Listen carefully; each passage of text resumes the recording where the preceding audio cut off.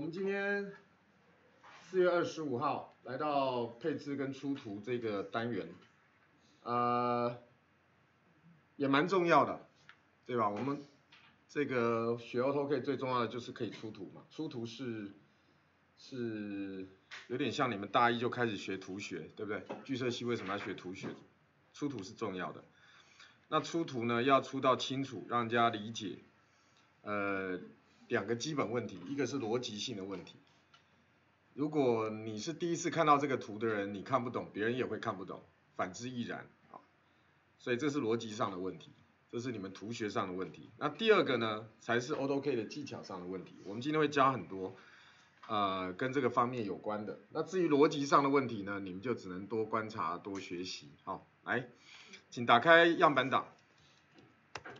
好，那样板档呢，就是。我之前给你们的样板档哈，尽量用我的样板档可以吗？不要到时候又缺这个缺那个哈。我的样板档是长这样子，记得吗？好，打开来。如果你没有这个东西，请你去把它找出来，因为你没有开我的样板档的话，我们等下上课很难沟通。OK？给你们多久？三十秒去把样板档找出来，然后我们存档哈。那存档的时候就是要存成。呃，DWG 啊，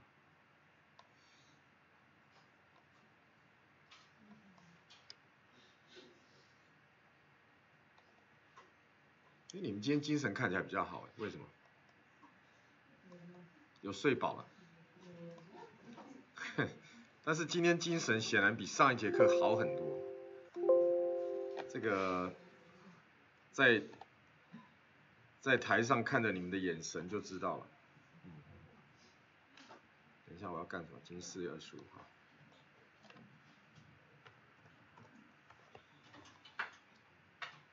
好了吗？OK，继续啊。Ready？好，来，然后呢，呃，我们点一下底下的这个页签哦，有什么模型啊？配置一、配置二，或者是像我现在标签的一个 A、B、C dash 一二三，你们有看到吗？有吗？找到了吗？好，那进来之后是不是会出现这个画面？是呗？OK，好，那最左边呢，左下角这边有个 icon，我们稍微点一下啊。这个呢是大概是两年前才开始有这个 icon，这个 icon 的意思就是说，什么？没有在。好，这个 icon 的意思是说，如果当我们底下有很多很多的配置，啊，模型永远只有一个，模型只有一个，就每一个档案只有一个模型。然后有很多很多的配置排列出来的时候，有时候你会排不下。啊，那你排不下的时候怎么办呢？你就是会在左下角这个 icon 上面点一下，你就可以看到很多呃全部的配置都会罗列在这里。那如果最底下这一列排不下的时候，就在这里找。那当然它也有一个功能啊，比如说可以加新的配置啊，可以从样板来找配置啊，呃加入配置啊，那还有页面设置管理员，页面设置管理员这也很重要啊。页面设置管理员呢，我们今天会一再的使用它。就是英文版叫 Page Setup，好，Make 版应该叫 Page Setup 之类的。那我们就先点了 A B C dash 一二三了哈，Ready？所以我们把这个呢，这几个叫配置的东西，我们先把它 delete 掉。那为什么要把它 delete 掉呢？因为我们想要从零开始，哈，所以我们选取它，然后把它 delete 掉，现在是一个空白。好，啊。我有个比喻了哈，不知道你们喜不喜欢，但是我就这么比喻啊。模型很像啊一个宇宙，宇宙哈，universe，OK。那配置呢，很像一艘一艘的太空船，这是我的比喻哈，你们听完。那太空船在看这个宇宙的时候呢，它其实是有它的窗子，它会有它的视窗，或是它各式各样的仪器。去观看这个宇宙啊，所以一个 universe 里面可以有 n 个太空船，对吧？同意吗？好，所以所有的配置就像一艘一艘的太空船，好，譬如说，我们跟我一起这样做，我们在配置里面打 MV 这个指令哈，这个之前也许有说过啊，没关系，我们就再复习一下。打 MV 这个指令之后呢，就出现一堆选项。如果你忽略这所有的选项，直接做一个左上右下的一个点拉的话呢，你就可以出现一个配置啊，就可以出现一个呃示部啊，这个我们叫做四步。这个四步呢，就很像我们在模型空间里面看到的每一个不同的四步。这个我没办法把它点掉，为什么？好，来有了。啊，我每一个特别去精心摆放位置角度的这样的东西叫做四步。我再讲一次，这个叫四步，英文叫 viewport，英文叫 viewport。那配置呢，就像一艘一艘的太空船。那一艘太空船里面呢，当然可以不只有一个配置，所以我们再打一次 MV，啊，我们任意点选一个地方，再打一个 MV，啊，在左上右下拉一下，到这边没问题。所以一艘太空船里面可以有好几个 Windows，那 Windows 在在 AutoCAD 里面叫 Viewport，Viewport，你是透过这个 Port，透过这个 Port 来观观看这个世界，所以叫 View。port，到这边可以吗？好，那可以有多少太空船呢？理论上可以无艘无限多艘太空船。那每一艘太空船里面可以有多少个四部呢？理论上可以有无限多个四部。它有没有极大值？一定有。但是我告诉你，你绝对用不到它的极大值，因为你它所提供的四部提供的配置是远远超过你想象的，所以我也不知道那个极大值多少。可能要去查 AutoK 的官方文件才查得到，但基本上用不完的。但是，但是模型空间只有一个，也就是这个宇宙只有一个，可以吗？我不知道那个《妈的多重宇宙》那部电影讲的是另外一件事情哦，我们不在这里讨论那个电影。我这里只有一个宇宙，可以吗？所以我们通常呢，这个模型空间我们不叫它 Universe，我们叫它 Model Space。啊，英文叫 model space，那中文版就叫翻作模型或者是模型空间。那这个配置呢，配置呢，在英文版翻译作图纸空间 paper space，paper space。那后来因为它的标签名称叫 layout one Layout two，所以有人又叫它 layout，所以 layout，layout，paper space。配置、图纸空间，我刚刚讲这四个名词是同一件事，了解吗？啊，要看你的 context，但是基本上是同一件事。Model space，模型空间，模型，这讲的是同一件事，到这边没有问题吧？很简单，对吧？那我们现在呢，把这两个刚刚新产生的 viewport 呢，把它 delete 掉。然后我们再从零开始，MV 啊，多打几次就会记起来。然后呢，我们在点下去之前，请你选择四选项四，一二三四的四，打四 Enter。四 Enter 之后呢，它就只剩下你可以左上右下的这个拉选拉框的选项。我们只要把它拉出来，OK，这样一次可以产生四个 Viewport。而这四个 viewport 呢，基本上会根据你最后一次在模型空间里面所工作的情况，来决定它的初始的视图的角度。到这边可以吗？好，譬如说，来我们在左上角的左上角的四步点 double click 进去，那 double click 这个进去呢？其实也可以用一个指令来取代。这个指令呢，请你背下来哈。这个指令叫 ms，model space 的意思。所以我刚刚为什么要跟你解释英文的原因，就是它跟指令有关。那如果你要离开这个空间呢，离开现在这个 viewport，这个 viewport 从这个 viewport 跳回真正的图纸空间的时候呢，你可以打 ps，也就是 paper space，ps enter，你就跳出来了。所以 ms 是进入到图纸空间里面的小的四部里，model space，打 ps 会离开这一个，好，所以 ms 进去，ps 出来，简单嘛？那当然很多人习惯就是因为在后来啊 Windows 视窗化之后，大家就习惯不要用指令了，不要用指令就是什么呢？就 double click 来 double click，然后 click click click click 到这边没有问题，所以你可以在这里面去跳不同的视窗，到这边可以吗？那我们就一起呢把左上角这个视图呢摆到啊这边有可以直接点选的哦，在它的在这里呢，你都通常在每一个视部的左上角可以看到这个东西哈。请你跟我一起这样做，这个点选上视图，然后呢，把概念改成二 D 线架构，然后呢，这个左下角呢改成前视图，啊，我刚刚一开始要用 Model Space 来做比较快，没啊，用那个什么二 D 线架构比较快哈，但是没关系，我就全部都改二 D 线架构，然后右下角呢改成右视图。所以这个符合我们三视图的概念，啊，然后一样呢，点选二 D 线架构，这边就是一个简单的练习哈，没有什么太伟大的地方。然后呢，最右上角，请你用东南视角，好，那也是用二 D 线架构。然后改完之后呢，请你在外面 double click，或是打 PS 离开到真正的图纸空间。到这里没问题？没有哈。好，然后呢，我们回到模型空间，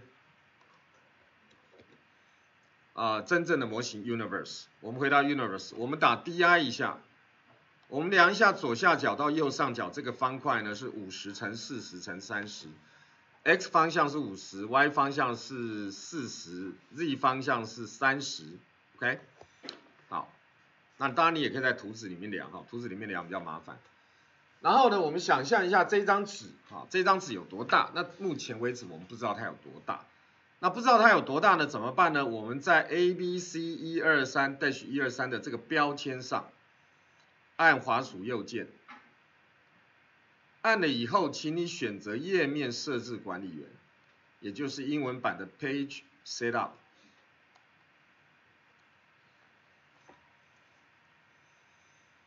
到这边可以吗？好，然后呢，我们这边呢有两个选择，一个叫修改，一个叫新建。我们先做一个最基础的修改，来，我们把它修改一下，好，修改一下。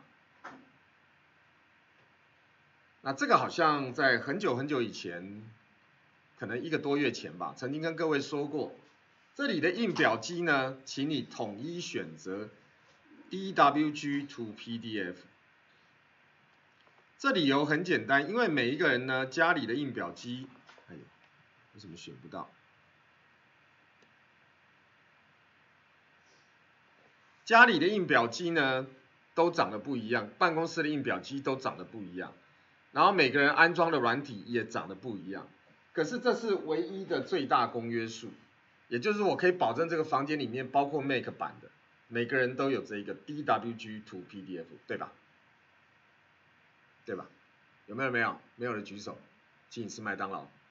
啊，没有，都有。好，所以这个是最大公约数。那选这个最大公约数的好处是，你的档案丢到别人的电脑，别人电脑打开之后，它一样可以输出成 PDF，它修改完一样可以输出成 PDF，而不用再重新选印表机。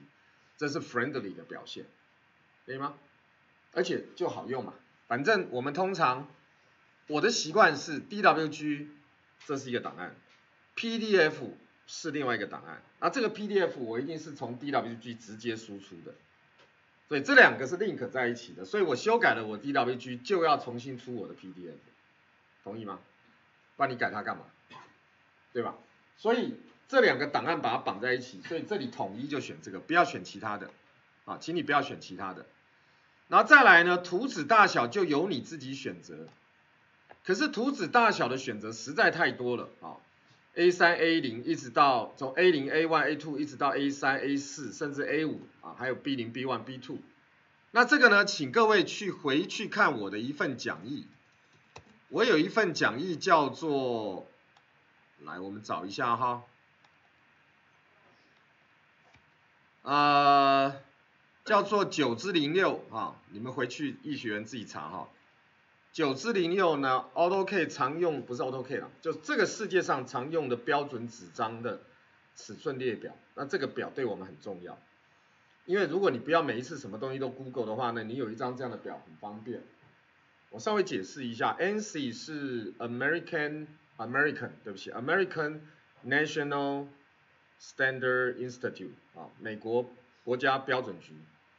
那基本上是以英制为主为主的。啊，所以呢，它在前面的两列秀出来的呢，都是英寸的尺寸，这理解吗？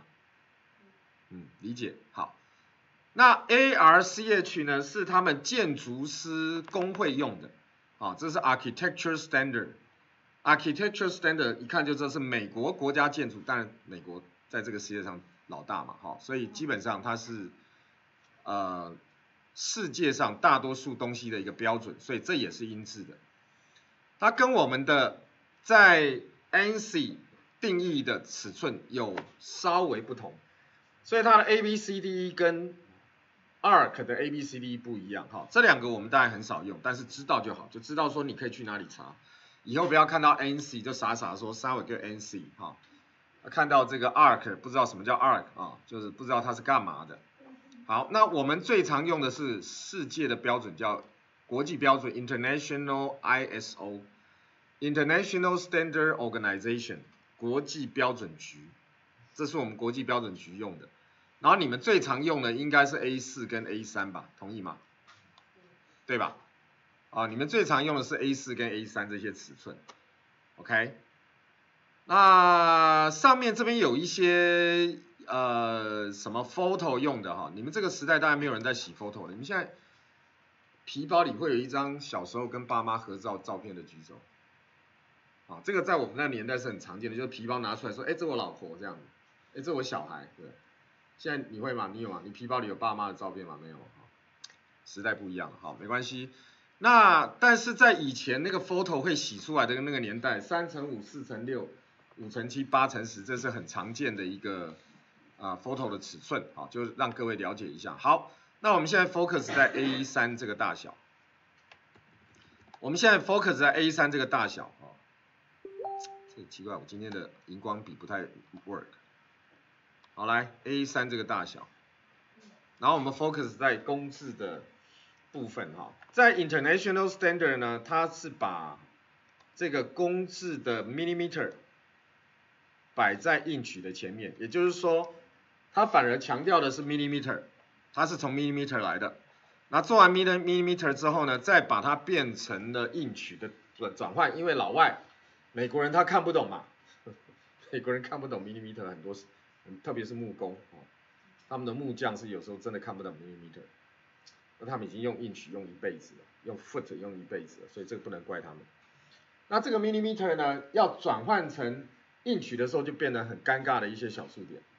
那反之亦然，反之亦然。刚刚的前面的 ANSI，它是很干净的硬取的标准，然后它要转换成 millimeter 的时候呢，就变得很尴尬。这个理解吗？就是因为它就是关单位转换的概念。好，那你背起来好吗？二九七乘以四二零背起来可以吗？这就简单的六个数字而已。二九七四二零背起来了吗？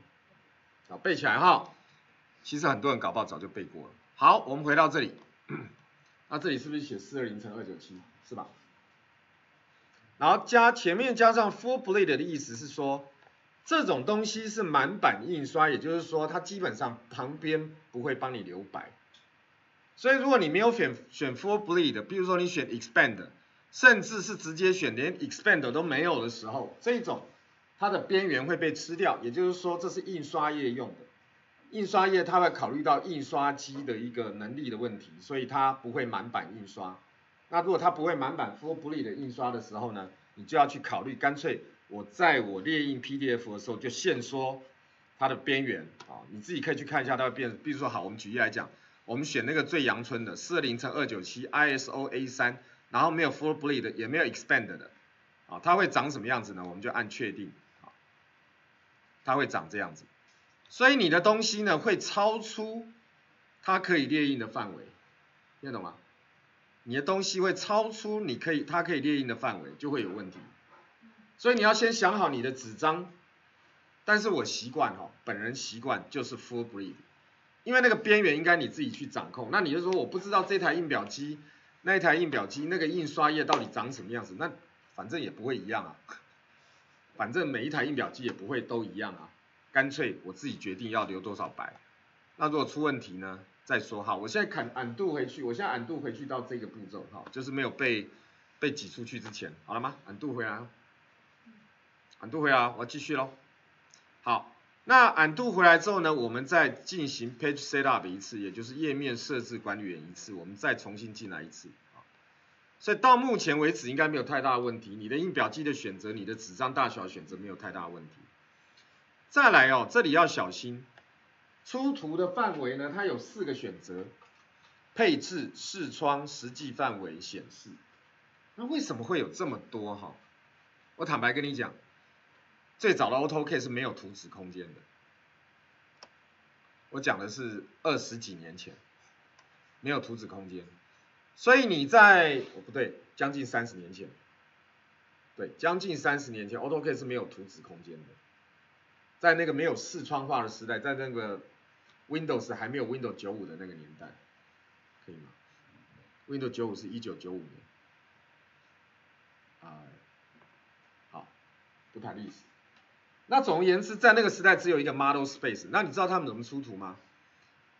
啊，我来开一张图给你们看一下哈。今天早上刚好在看，嗯，今天早上在看好来，我找它出来，稍微等我一下哦。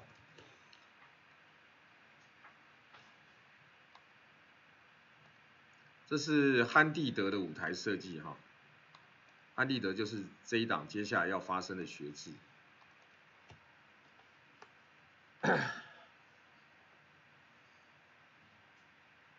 所以到目前为止，你常常会在很多的设计师的图面上看到这样的画法，它在模型空间里面摆满了这些东西，没有不好，因为它是一个，它是一个历史的工业，就是因为以前 AutoCAD 只有 Model Space。所以纯粹把所有东西都摆到 model space 里面，然后要出图的时候出这一张，要出第一幕的时候，哈，比如说出第一幕的时候我就出这一张，然后要出第二幕的时候呢，我就来出这一张，然后第三幕呢出这一张，真的有那个年代，三十年前是这样子。所以很多的设计师，包括那个时候学 AutoCAD 的人，什么叫那个时候学 AutoCAD 的人，就是刘达伦，哈 这样的人啊，我是一九九八年学的。我九八年学的时候已经不是长这样子，我九八年是长什么样子？我等下跟各位解释。所以那个时代学 AutoCAD 的人，他真的是这样子出图的，就一张一张出哦。我要出到第五幕的时候，我就拉到第五幕来，然后用某个方式来出它。比如说我按 Ctrl P，我还是可以印它的啊，只是要重新去规划这个印表机啊。我可以啊，我可以按 Ctrl P 啊，然后他就是叫我去规划这个印表机，就会长那个时代的印表机的样子。我觉得这是一个非常。可怕的时代，就那个时代是这样出图的，所以很多人养成这个习惯无可厚非。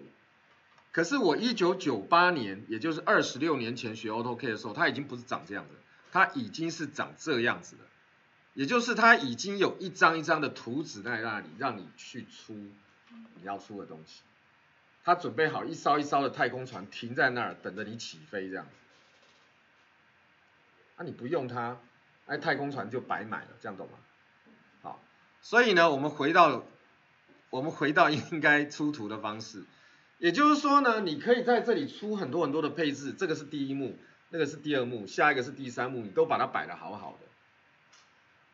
然后你要出图的时候，可以说配置一到配置五全部出出来，就一个指令就结束了。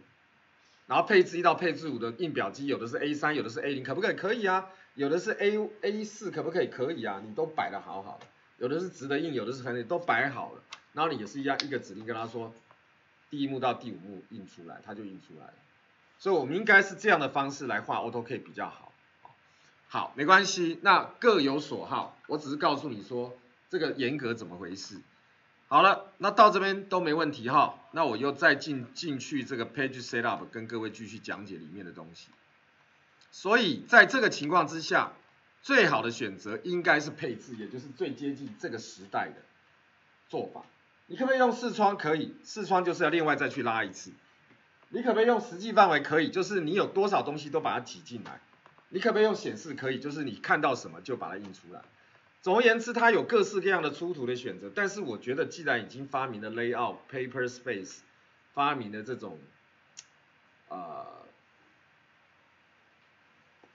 太空船的概念，我觉得各位就不要怀疑了，就是第一个选择配置，好吗？那再来是出图偏移量，这个出图偏移量呢，我这边一个是写五，一个写六啊，这个随便你写，你可以你可以自己玩玩看，譬如说你这里写十五，你看看它会发生什么事，勇敢的写哈，然后这边写三十，你看会发生什么事，然后你这次不要按确定，因为确定每次要跳出来跳进去，我们直接按预览，它就会长这样子，就是 x 偏移十五，y 偏移三十的样子，那为什么会偏移这么多呢？因为你要它偏移嘛，那它就不会管右上角那个发生什么事了，要懂吗？有问题？你们都看到预览了哈，预览就长这样子。那可不可以写零零呢？不好，因为我现在用的是 full bleed，full bleed 就是满血，就是满版印刷，满版印刷就是从左下角的零逗号零就可以开始印，所以不要写零逗号零，你这里一定要给它一个数字。好，所以呢，我这个可能再改成一个五，一个六哈，这个数字不重要。好来，然后再来呢，这里非常非常的关键，出图比例，我在这里恳切的拜托大家，只用一比一，只用一比一，非常恳切的拜托拜托大家，你先记笔记，你要记下来。那别人要选一比二、一比十，那他家的事我管不着，因为 Auto 可以给你这个选择，你当然可以这样选。可是这里为什么要选一比一？要不要知道原因？好，很简单。来，我问你，你一张图里面会不会有好几个比例？会不会？会还是不会？好，你觉得不会对不对？我现在开一个，我今天早上在画图，就是我上课前十分钟刚刚在画的图。啊，我现在打开它。我画了一个齿轮加工图，当然可能这里面这个房间里面对齿轮有兴趣的同学不超过五个哈，好，不重要。那我画了一个齿轮加工图，这个齿轮是已经买来的齿轮，我要请厂商帮我打洞。这个洞很重要，因为它是我里面一个飞人飞扬机关里面的一个重要的换面机构。那个羊飞到空中的时候呢，它会换面，还可以换面哈，这听前所未闻嘛哈，它就是飞行的二维飞行。来这边上过我。技术设计那个滑轮绳索专题的举手，怎么可能？滑轮绳索专题你们没上过吗？有啊。那我们二维飞行的时候，它飞在空中，利用那个动滑轮，它是不是都是永远同一个面，对不对？那这个题目呢，就是我利用了一个设计的一个新的东西，它飞上去，那个飞那个羊呢，可以这样转面，可以这样转面啊，就是它可以有不同的面向面对观众。Anyway，我在做这个齿轮加工的时候呢，我要跟厂商说。这里要这样子，那这里要这样子，啊，那这两个其实就是一个放大图的概念，看得出来吗？它是一个放大图的概念，啊，因为我要跟他说，OK，这个地方呢，我要做一个呃有深度的加工，啊，我要让那个螺丝头埋在齿条里面。举例来说，那我就可能有不同的比例啊，因为这个图的比例显然就不等于这个图的比例，对吧？对吧？那如果像你们出灯图是不是都要有比例？你们出灯图通常一比五十，一比一百，对吧？你们画灯图的时候可以不要有比例吗？要骗我，来灯光组举手。你们画灯图的时候可以不要有比例吗？就是你爱怎么画怎么画。啊，如果你这样画会发生什么事？就丢搞了嘛，对不对？不可以嘛。那你要有比例的情况之下，假设我这个图有某个比例，这个图有某个比例。然后呢，你的 page setup 又有某个比例的时候，请问你会发生什么事？你就完全乱乱掉了，你就完全乱掉了。所以对我来讲，最简单的是这里永远是一比一，什么意思？我这里就是，我如果画一 milli 就帮我印一 milli，我画四百二十 milli 就帮我画四百二十 milli，我画两百九十七 milli 就帮我画两百九十七，不要再帮我变大变小，这样听得懂吗？那哪里变大变小？当然是每个配置自己啊，对不起，每个 viewport 自己去调比例啊。因为你一张图里面可能有这样的比例，有那样的比例的时候，那你要再用数学一比二去算，哇，那一比二乘以一比五十是多少？一比一百，你当然可以这样算了。可是你要每一个都这样算吗？不要，你这里就永远一比一，我从一九九八年画图就到现在就是这样，然后我几乎没有遇到，我跟你讲，我没有遇到任何困难，因为它的换算是简单的，我每个 viewport 有自己的比例，把它定义好就对了。那你干嘛在这里定义？你如果看到有一些图出来比例很奇怪，第一个先来检查这里，听得懂吗？如果有一个建筑师或是个灯光设计师或一个舞台设计师寄了一个图给你，然后你看比例怪怪的，你先进来检查这里，你就会知道他这里一定有改。啊，你在 paper 你在 paper space 检查不出来的时候，你只能到页面设计，呃，这个 page setup 你去去检查这件事情就对了。好，简单来讲是这样。也就是说，一公里等于一个单位。好，注意哦。我们在公里这里点一下，你会发现它只有两个选择，一个是英寸，一个是公里，这个也很重要。那我们是公制的国家，我们是用四百二十 mm 乘以两百九十七 mm 来做 A 三的时候，我们这里就选公里，然后选一比一，你就永远不会犯错，你不会有比例上的错误。好，所以这个画面，请你永远记得一比一公里。结束，然后你问我说，老苏，请问一下，我们当初打 UN 这个指令的时候，来复习一下 UN 这个指令的时候，你记不记得这边有个 unit，然后有精确度的设定的时候，你记不记得这个画面？记得吗？打 UN，当然你要跳出来才能打 UN，你们记得这个画面吗？我还讲到光年两个字啊，应该有印象吧？我要讲到什么纳米还是什么鬼的哈，毫微米、微米啊，注意哦，那个是在宇宙才会发生的事情，宇宙才有光年嘛，宇宙才有这个什么什么纳米啊，这种什么天光年、公制英寸这些乱七八糟的东西嘛，所以宇宙里面随便你，你从台湾来，只是可可可惜哈，台湾的台字还没上去哦，大家努力一下，看 AutoCAD 下一版能不能把。台词台词写进去啊，台词写下去，不要了，这世界又乱了。那印度还有印度的，大陆有大陆的，所以不要哈。那为什么为什么配置里面只有这两个呢？你有没有觉得很奇怪？你有没有觉得很奇怪？有没有产生疑惑？Why？很简单啊。因为这世界上所有的印表机，我讲的是所有的印表机，它只有两个单位，一个是 millimeter，一个是 inch，讲完了，没有比这个更简单的理由了。你去买一台印表机，它的单位是公尺，或者是光年，或者是 I 原子的单位 I 来做印表机的规格说明的，你找给我好不好？一样麦克麦当劳一份好不好？你找到那个印表机的规格表来找我，除了 millimeter。除了 inch 没有别的，连公分都没有，你找不到一个仪表机用公分在跟你 specify 它的规格的，没有，就这么简单啊。所以他干嘛给你其他？他不给你其他的。所以换句话说，各位养成一个习惯，你看你愿不愿意？你以后画舞台设计图，你就用 millimeter 思考。哎，我发现达伦已经是了，达伦现在的图好像都是 millimeter，对不对？哎，你们是有达伦教的吗？不是吗？啊？不是不是。我不是说助理，我说你们舞台设计图有要求你们用公分或 millimeter 的话没有，随便你，目前是随便你，对不对？好，那我发现他在设计汉地德，他助理所有的图都是用 millimeter 的，我没有要求哦。其实我以前 很希望这样，因为舞台设计有的人喜欢用公分，有人喜欢用公里，这在台湾一定是的，不是公分就是公里。可是公分跟公里最大的问题就是它要经过一个十倍的转换，各位懂我意思吗？十公分等于一百公里，这个大家都听得懂。可是你就很容易犯一个错误，就是你拿到图之后，你搞不清楚它是公分公里，那你就犯错了。同意吗？好，总而言之，我建强烈建议各位，如果从现在开始你来得及改，你就不要再用公分画图，你就用公里画图，因为这样你进 Auto 可以不用再转换。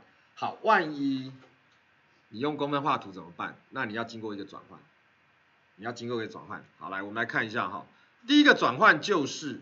你可以在这里弄一个一比十之类的，听得懂吗？我们要不要试试看？好，我们这里画一比十，哈，我们这里画一比十，它出来会长这样子，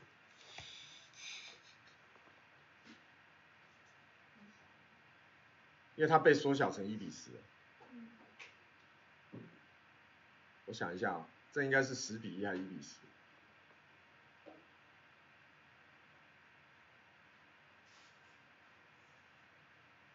应该要用十比一，重来，来，我再换一下哈，对不起，我我再强调一下，哎，我觉得不要这样改，我觉得不要这样，我换另外一个方式改，我觉得这个方式改的不好，因为算这个会算到晕，这个你要自己改成十比一啦，改成十比一是长这样子，好，给各位看一下，这是改成十比一的样子，这是改成十比一的样子，所以这时候四十是四十公分，呃，对或错，对或错。不要，我不习惯这个系统哈，不是一比就是十比一，你们有兴趣自己慢慢改改看哈。但是我建议另外一个改法，还有一个改法就是万一你画公分怎么办？我还是回到一比一，来，我们回到一比一，我们回到一比一，然后怎么办呢？你就要开始想，原来你画的这里是公分，刚刚说五十乘四十乘三十，记得吧？还记得吗？五十乘四十乘三十，然后你心里想的是公分哦，注意哦，你现在心里想的是公分哦，所以五十公分的东西如果放在一张四十二公分的图纸上，它是不是塞不下？听懂吗？所以它就要缩小，而且它要缩多小呢？好，我们马上会有答案，所以请你跟我一起点选左上角这个视图，然后按 Ctrl 一，一二三的一。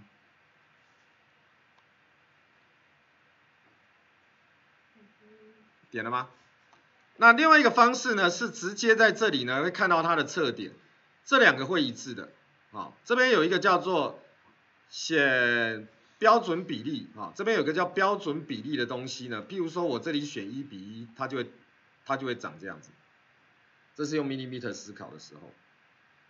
我再讲一次，这是一比一的时候，一比一的时候 millimeter 思考的时候，你也可以在这里选啊，一比二，这是一比二的样子。好，这是一比一的样子，OK，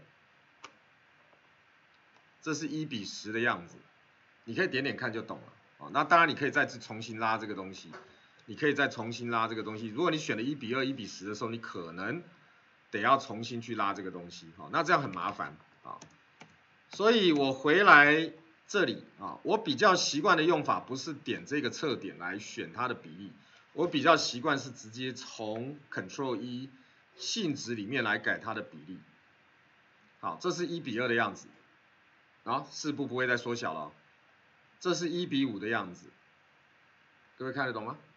从这里选是比较好。如果你刚刚不小心用了这个测点改了这个东西之后，请你呢再 undo 回去。啊，我们不要用这个改，我们直接在这里改。啊，请你改回一比一。好。那改回一比一之后呢？哎，运气很好，刚好塞进去，啊，那如果你想要让这个图呢偏移，怎么办呢？Double click，然后进去用 P 这个指令把它偏移一下，啊，这样可以偏移。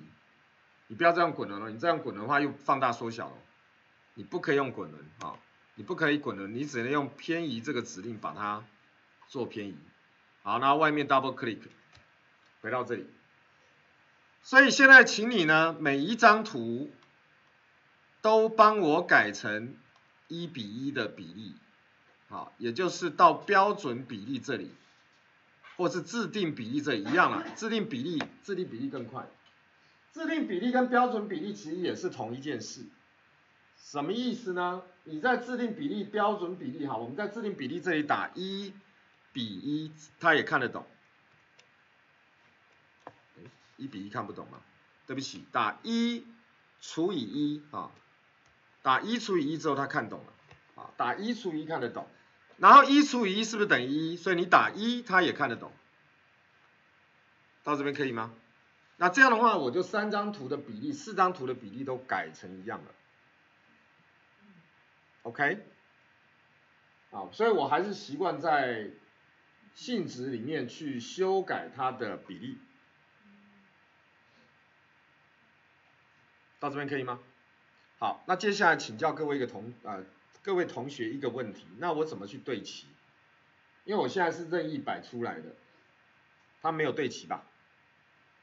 没有对齐的话，在图学是不是不可以？那怎么办？你们刚好对齐啊？不可能啊？对齐啊？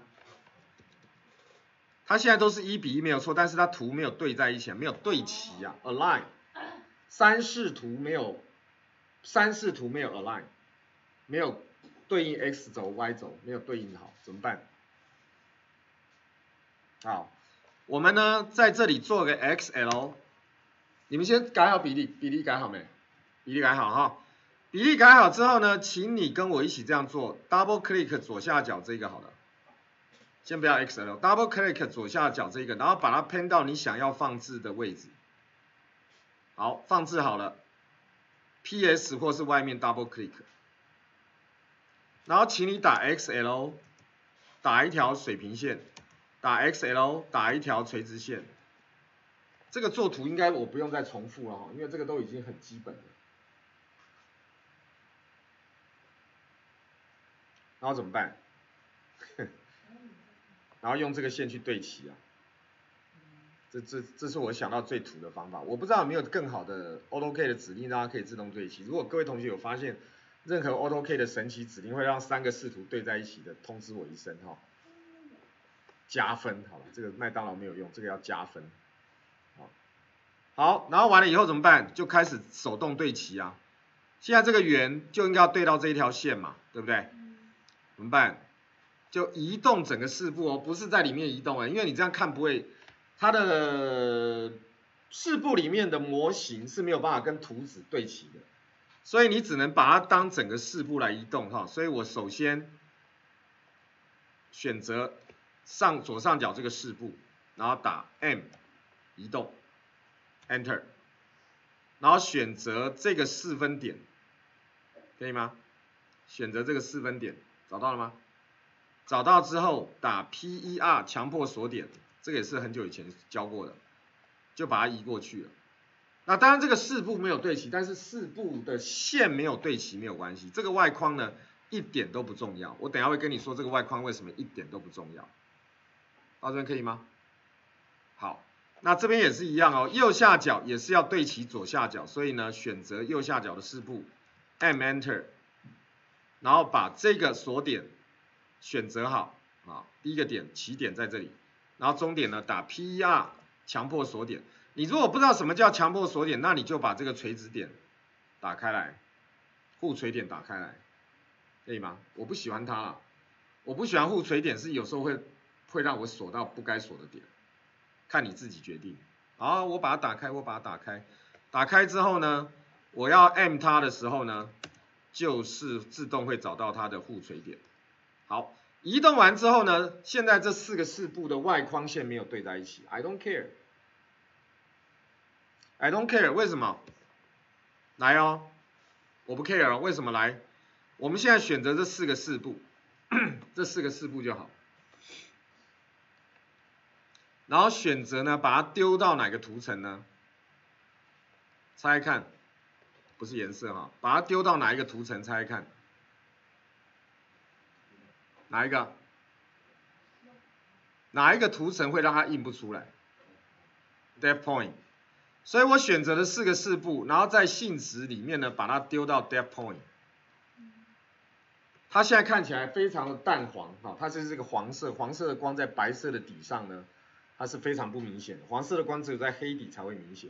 你这时候按 Ctrl P，Ctrl P，Ctrl P 就是列印的意思了哈。Ctrl P 呢，直接按预览。所以我说外框重不重要？Doesn't matter，来。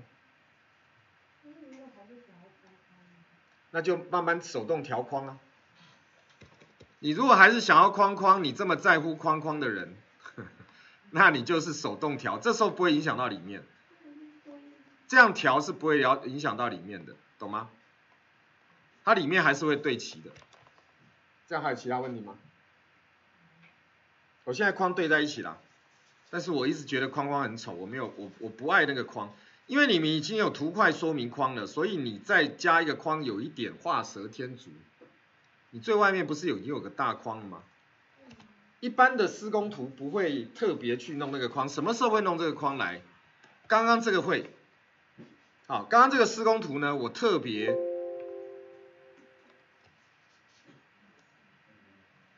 来我们欣赏一下，刚刚我早上呃出门前十分钟画的施工图。我哪里有个框框？什么地方有个框框？我左下角有个框框，而且有没有发现它是个圆框？哎，为什么？因为我要去放大说明这个细节，所以我用了一个圆形。那圆形呢，我就要让它出现一个框，为什么？因为我要知道它是从哪里萃取出来的，所以我留了一个圆框在那。其他地方都不要有框啊，这种地方为什么要框？这个地方在一个框很丑啊。你再画一个齿牌，那就齿牌就齿牌了。那你像我甚至利用这一条线当做我的破，那个叫什么？有一个建筑学上的名词，就是就是我没有办法显示完整的长度，所以我就在这里破折。那个叫什么线？就某种不要让它完整显示的。那我利用这个方式来显示我的图面的时候，我图很干净的。我我没有任何一条多余的线啊，对吧？这个时候我会有框框，我只有这个时候。我想要有框框，其他时候我不会想要有框框。OK，好，来到这边可以哈。我们今天课程比较轻松，我们休息到十点钟，好，回来继续。太轻松了哈，来，就是我我觉得今天的进度是 OK 的，不用太赶啊。我们休息到十，麻烦上厕所要去哈，十点钟我们回来。好了，录影不是不是。给大家偷懒用的录影是为了方便你们下课复习用的哈，所以希望大家不要搞错方向。好，第二个呢，我们刚刚已经学会怎么做配置，对不对？然后我们来做一些基本的标注，好来，请各位点一下注解的标签，OK，然后注解的标签里面呢，呃。右下角这边有一个 icon，长得像向右下的箭头，点下去。然后呢，这边有一个叫 My Dimension 的 My Dimension Style 的一个东西，好，找得到吗？那它如果你要叫出它，当然另外一个方式就打 Dimension Style 啊，就是打 Dimension Style，这是一个指令啊，啊，就是会出现这个画面。那这里面呢有这个档案里面已经。呃，载入或者是预先设定好的一些 dimension style，然后其中预设的呢，就是以这个右上角的 icon 来做设为目前的 default 的这个 dimension style 呢，这是经过这样设定来的，所以你就可以预设，你如果没有特别说明，它就是从这个开始启动。然后我们点一下修改 modify，都进来了吗？进来了以后呢，这里面有所有的这一个档案。你自己想用的 dimension style 啊，譬如说，举个例子来讲，我们点第二个符号跟箭头，有人喜欢箭头，但是有人喜欢用那种，呃，叫什么倾斜，就是画一条斜线代表它的 dimension style。每个人习习惯的东西不一样，所以你可以在这里自己改哈。也有一些设计师喜欢用小圆点，有啊，像其实像那个谁。SketchUp 里面好像预设的是小圆点之类的哈，就是你可以有自己的 dimension style。然后呢，这个箭头的大小呢，就是会牵涉到你那个符号那个 symbol，不管是箭头或圆点的那个大小。那这个中心标记呢，是特别在画一个圆的圆心的时候会有用到中心标记。然后呢，等等这些都有一些数字可以选择。然后再来就是文字。那文字呢，你当然可以有不同的 text style 啊，这个 text style 呢。有人记得 textile 的指令是什么吗？好像是 S 或 T，对不对？好像是 S 或 T，不是啊，那就 T。啊，不对，不是 T 耶，那是什么 textile 的指令是什么 textile 吗？要打那么长？嗯？还是叫 style？啊，叫 style，对不起。就叫 style 啊，style 的话是文字形式，这个是你在设设定啊，一般你在这个图里面会用到的文字啊所用的。那我现在预设是微软正黑体，因为我的助理呢，他们喜欢微软正黑体，也没办法，我就只能用 微软正黑体啊。有人喜欢，像我以前很喜欢标楷体啊，但有人非常讨厌标楷体，这是每个人的 style 不一样啊，没有问题，你就选择你自己喜欢的。好，然后呢，这个就是你预设的 style 啊，style 你的文字形式。那 dimension style 是另外一种 style 啊，dimension style 呢，它就更进阶、更复杂了，就是我刚刚所讲的这些，你在做标注里面的所有的这些东西。好，那特别注意到，像我们通常在呃做 dimension 的时候，我们会希望这个线呢，跟我们这个 main body，就是这个物件本身要有个距离。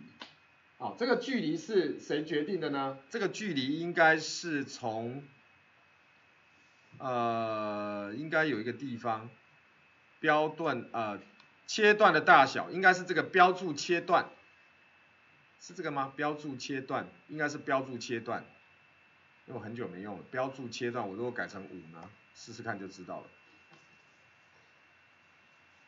诶，是这个吗？箭头大小标注切断中心标记，文字，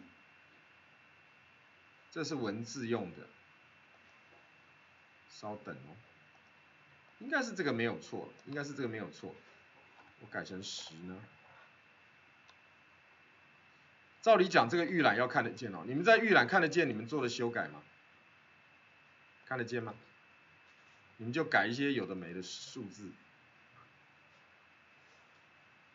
应该是要看得见，啊，应该是要看得见。好，那我原来是三点七五哈，不知道为什么是三点七五，这也是我助理改的。总而言之呢，这个切断大小呢，呃，应该是跟我们不不是那个标注本身的那一条线的切断，就是它跟物件之间的距离。我现在是要想要找的是那个物件之间的距离，我等下找找看好了，应该是。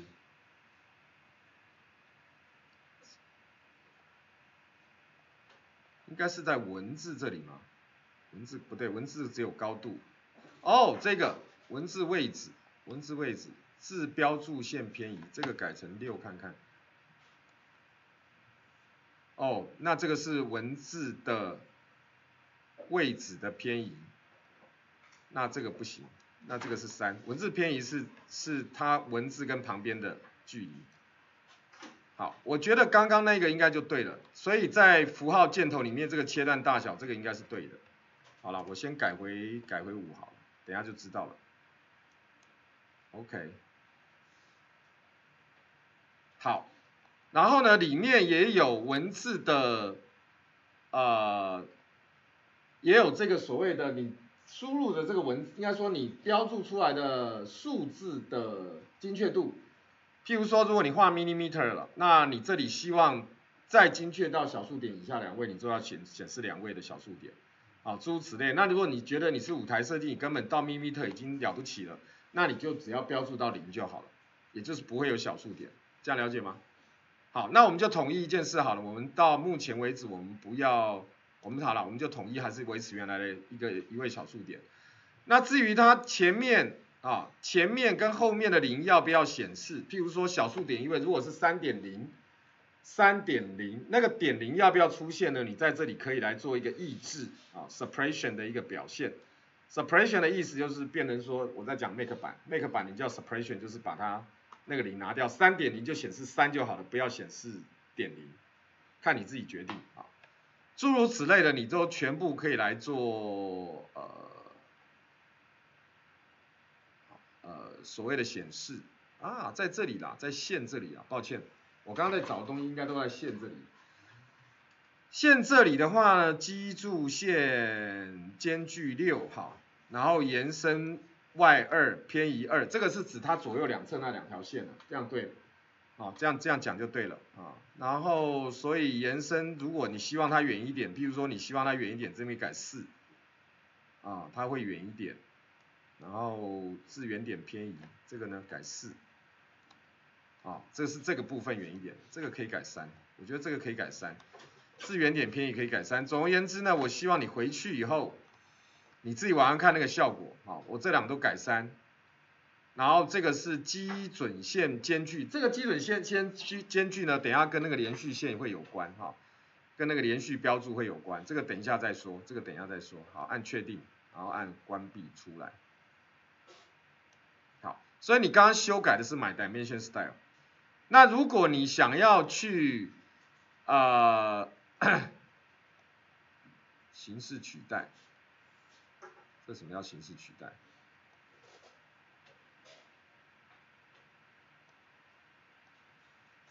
改完之后呢，你在这里应该就是已经改完了，我我确认一下哈，你应该就改完了，哎，没改到，所以它会出现在形式取代里面，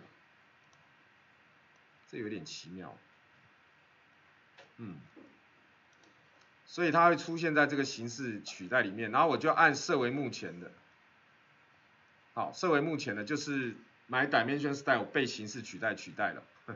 然后我就按关闭，好，那如果你下次你希望去修改一个视觉呃这个修改一个标注形式的时候呢，你可以点选你要的这个标注形式，然后按新建，新建的话你就会去改一个改出一个新的标注形式，但是不会改掉原来的哈，这样可能是比较保险的，啊，总而言之这个部分是你可以去做选择的。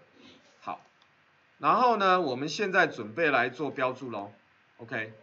所以第一个呢，就是记笔记哈，我们永远不要在模型空间做标注，这是一个坏习惯。很多人喜欢在模型空间做标注。我强调一件事，AutoCAD 的模型空间它是用来做三度空间的展示的，所以当它要显示 x、y 又要显示 z 方向的。呃，物件的时候，它做文字的显示会 slow down 你的 model space 的 performance。我再讲一次，它会 slow down 你 model space 的 performance，因为文字在模型空间里面是非常的 clumsy，非常笨拙的，它不擅长在模型空间里面展现文字。简单来说就是这样。所以呢，我强烈的建议你所有的文字，包括你的说明。施工图说明，你的灯具的 hookup list，你的将来舞台设计组或者是 TD 组的你的裁切清单，请你尽量一律显示在图纸空间，不要显示在模型空间。这是对你的档案很复杂的时候，会大大提升你的 performance。不然你的模型空间里面在显示那些文字的时候，非常的 clumsy。好，我希望你们听得懂英文哈。OK，来，我现在要开始来做标注喽。所以呢，我刚刚这个设定标注形式，你可以去新建，你可以去复制，你可以做出任何的标注形式，然后呢，在这里去做预选。好，在这里去做预选。假设我要的就是买单买 dimension style 啊，这就是我要的标注形式了。所以呢，这个就是点下去就变成这个是你预设的。那如果你想要换别的标注形式，那你就要去选别的标注形式。这样清楚吗？OK，所以你一张图里面，你可以有好几种标注形式同时存在，但是我的建议是一张图里面最好一个标注形式，不然那个图看起来反而乱啊。好，那第一个呢，左下角这个 icon 呢有线性、对齐式、呃角度、弧长、半径、直径等等哈，最常用的就是这一组 icon，这是最常用的。那再来呢？右下右下角有一个 icon，等一下哈，右下角有一个 icon，这个 icon 叫连续式或基线式，这个也是常用的，啊，然后那个快速呢，我从来没用过，我一辈子没用过快速的标注形式，虽然它出来有十几年、二十年，但是我很少用，啊，我觉得标注就是自己要标什么自己决定，因为我不觉得 AutoCAD 已经进步到 AI 了哈，我不觉得它那么那么 AI，所以，呃。你如果相信他，你可以让他帮你自己标，你回去可以试试看啊。他的意就是说，我看啊，快速我停在这里，啊，我看他要给我什么花样啊，他也没打算说什么。好，Anyway，来，我们就先点线性哈。那线性的话呢，你的你的这个一定要打开，那个叫什么？呃，那叫什么来着？你的锁点一定要打开，因为你锁点没有锁到的话是不行的。好然后我强调一件事，不要在模型空间里面。我现在在模型空间里面做一个标注给你看哈，它看起来一模一样，但是不要在模型空间标，好吧？那我再给你看一下我现在模型空间长什么样子，会很乱。你就说老师我就喜欢这个 style，好啊，好啊，那你就用这个 style，OK？很乱，很乱，这不是一个，这不是一个正确使用图纸的方法，因为图纸就是二 D 的嘛，图纸没有三 D 啦，你要出图嘛，不是吗？你出图就是出二 D，而老师我要出三 D 啊，你出给我看，你再怎么出就是二 D 的，我讲的意思是，你印出来的图它是一个二 D 的平面，你不用去假装它很三 D，有啦，这个看起来很三 D，抱歉它还是一个二 D 的东西。印出来就是二 D 了，所以你没有必要去增加你的乱度，然后用这些文字在模型空间里面 slow down 你的 performance。所以强烈的建议呢，不要这样做，啊，不要这样做。所以我们还是进到 paper space 做这件事情。来，我们很快的做完这两个标注。那通常呢，我喜欢这个标注呢拉开一点，好，拉开一点。也就是说，我最怕一种标注，我现在做另外一组标注给各位同学看哦。这是一个 no no no 的标注，这个标注很糟，为什么？不要这样标注，为什么？为什么不要？就是你要标注应该是五十那样的，不要标注四十那样的标注，为什么？因为你所有的线都粘在一起啊，你分不清是物件还是标注，你会分不清。那你分不清，那你就是让你自己的图做的很 messy 而已。可以吗？可以不要这样画吗？好，但是我可以保证，我下次拿到你的图的时候就长这样，就是你想要标哪就标哪哈，我也不懂为什么。好，来，我们来哦，然后再来一个事情，小心，哎，我们现在是一比一，对不对？如果你在标注的时候出现这个节点的符号，不要用，不要用，我再讲一次，不要用这个来做标注。好，你们可能不懂我在说什么。好，我现在做一个比较小的比例给你看，z 一一除二 xp，我现在是用指令在缩小它，好，意思一样。我现在已经不教指令怎么让你缩小模型空间里面的比例了哈，因为很多同学懒得学学学呃指令。我现在呢标了第一组标注在这里，还是对的。也就是说呢，我现在上面的图是一比一，下面的图是一比二，还是对的。可是呢，如果万一万一我的第二个标注标在节点上会出问题，还没出问题啊，我我我我我设法让它出问题，等我一下，我正在努力让它出问题。有时候要重现一个问题没那么容易啊，不知道为什么。好，我现在呢两个都用节点，两个都用节点。哎，出现了，来，各位同学，它 suppose 应该是，它 suppose 应该是五十乘三十乘四十，对不对？各位看哦，这个是四十，对不对？结果这里出现什么？出现一个错误的数字，为什么？如果我在这里做标注的时候抓的是端点，端点就是很干净的，在模型空间的点是三十。可是如果我抓的是节点，节点就是它原来画标注的时候遗留下来的一个小点点，我抓出来是十五，哪一个对了？三十还是十五是对的？三十是对的。所以我强调一下，你们在做标注的时候，虽然你的节点没有打开，我看啊，我有打开，我有打开，我不小心打开了，节点不要用，好吗？尽量用端点、中点、中心点这些，这个很容易出错，因为你这样一标注出来之后，比例差了一倍。为什么？因为我这一个比例，我这个四部的比例是一比二，而我这个真正的比例，不管是一比一、一比二、一比五、一比十，都应该要是对的尺寸。好，到这边可以吗？可以哈，那我要继续喽。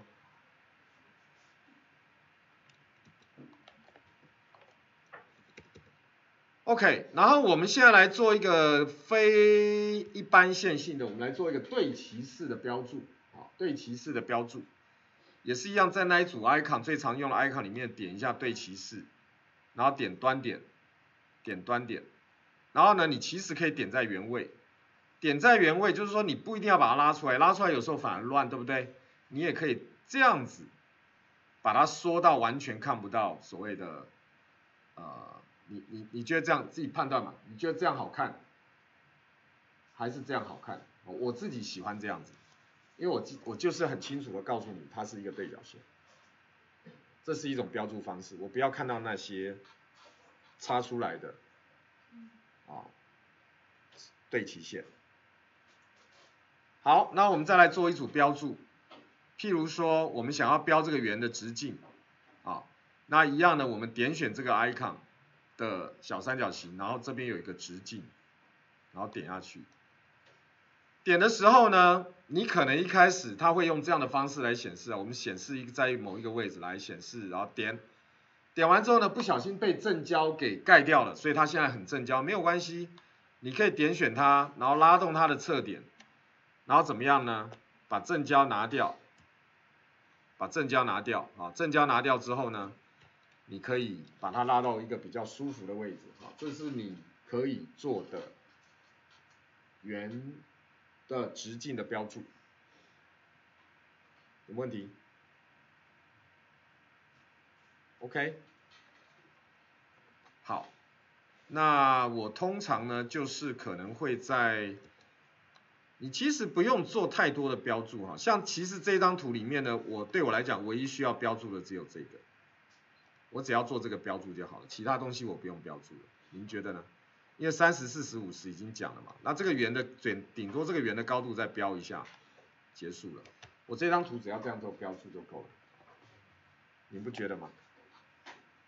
我这张图里面只要做这样的标注就够了，因为没有更多的 information，你在你右边那个图标的满满的。只是乱，因为这个观念是你已经用了三视图在解释你的图了，然后你又用了过多的标注的时候，只是会让你的 information 非常非常的呃乱，然后每个点他都要去 check，他就知道你在说什么。那如果你标的越少，他就知道说，OK，我看懂了，我看懂你在画什么了。到这边没问题？没有哈。好，那我们来做一点有趣的事情。我们到模型空间，来，请你跟我一起这样做哈。我们点选这个物件，可以吗？然后，如果这个物件它原来的侧点还在，我们可以改变它的大小的时候，譬如说，我现在呢在正交模式下，把这个东西往这里拉动，往这里拉动，看好，往这里拉动。十，然后我们到标注空间来看一下，它有没有跟着变？有的，顶多呢是你这个四部的可能要调整一下，它完全就跟着变。所以换句话说，做这种比较小规模的变更，它的标注会跟着跑，这是 AutoK 一个非常方便的功能，它会跟着跑，它跟着变动了。我刚刚不是改了模型空间的东西吗？它跟着动了，到这边问题，记下来哈。然后第二个，第二个，有的时候我们想改东西，但是又不希望这样子。你看我这样跳一下，这样跳一下，这样跳一下。有的时候你在不同的配置甚至模型空间跳动的时候，会很花时间。那你现在会觉得很快的原因，是因为我这个档案非常的简单，里面没有什么伟大的东西，所以它。变换起来似乎是在一秒钟左右的事情，可是有时候你的档案很复杂的时候，它要从图纸跳到模型空间有多难，你知道吗？有时候我曾经从模型跳到图纸要等五秒钟，等十秒钟，为什么？因为那个图已经很大，然后我的图纸里面塞了满满的四步，然后我的模型里面塞了满满的物件，都是三 D 的，都是非常复杂的东西的时候，你会花五秒、十秒在等待哦。我说真的。所以 AutoK 后来提供你一个非常方便的功能，让让你在图纸可以假装是模型，想不想知道？啊，在图纸假装是模型怎么办？来，请你点选一下那个四步，然后按滑鼠右键，然后选择最大化四步 （Maximize Viewport） 之类的，然后你一进去之后呢？你好像在 universe，但是你看哦，你好像在 universe，比如说我在 universe 可以这样，对不对？我可以这样，对不对？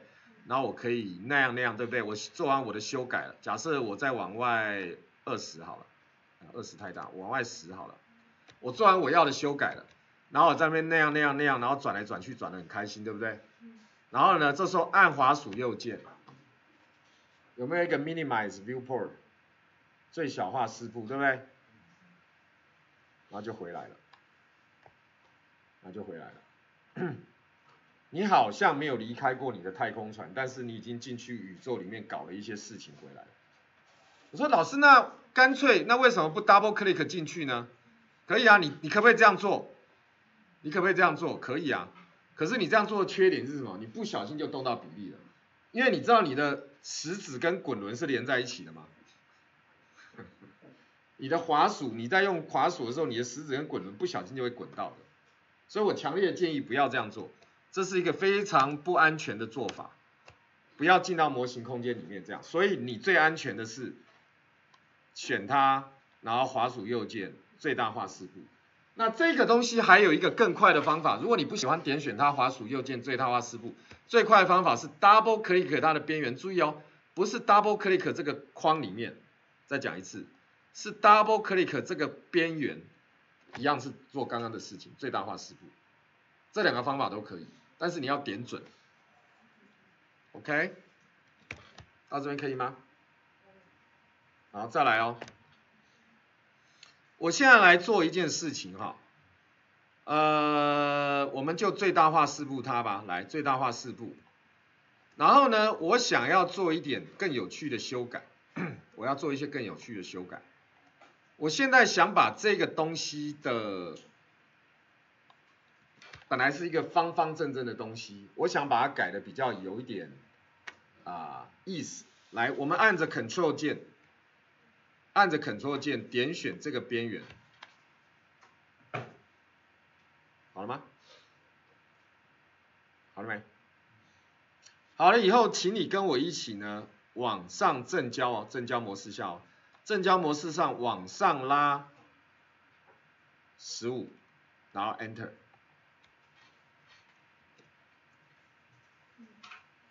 好，它现在变形了，对不对？这个技巧我大概也说过三次了，这今天是第三次讲这个技巧，如果还不熟的，呃，你就赶快回去问一下同学怎么回事。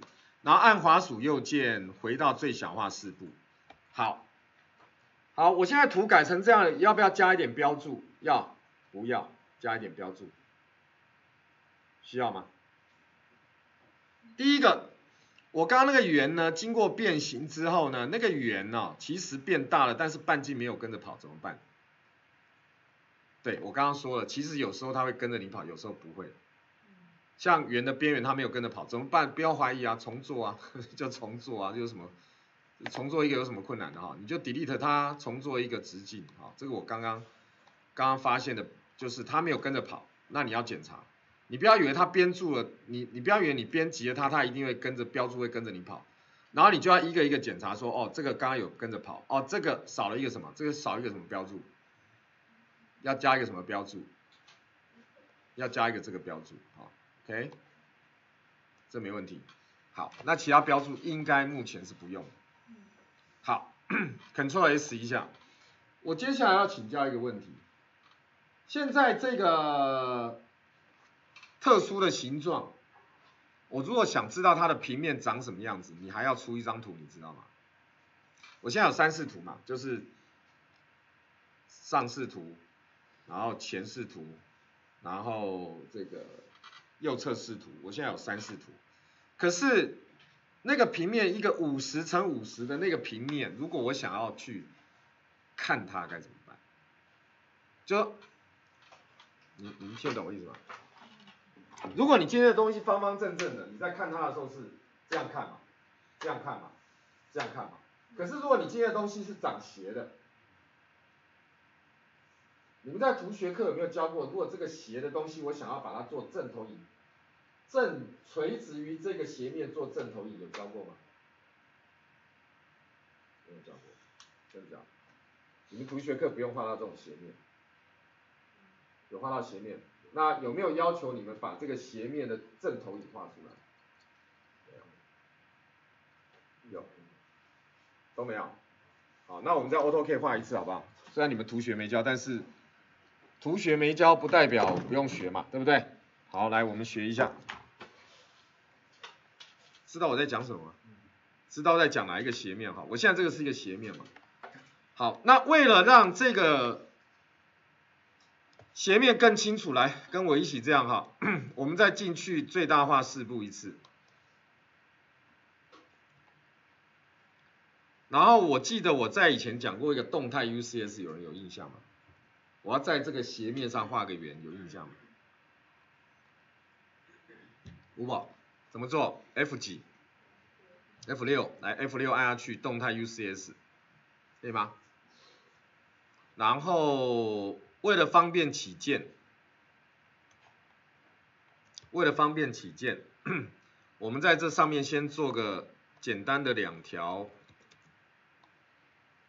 交叉线，好，这两条交叉线是为了方便我待会做一个圆，好，各位都知道我要干嘛了哈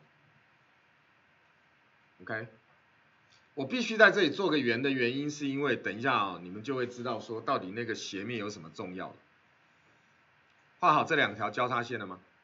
中点啊，中线啊，中中点的交，中点的呃，中点的连线，所以我叫它中线，好了吗？各位，好了吗？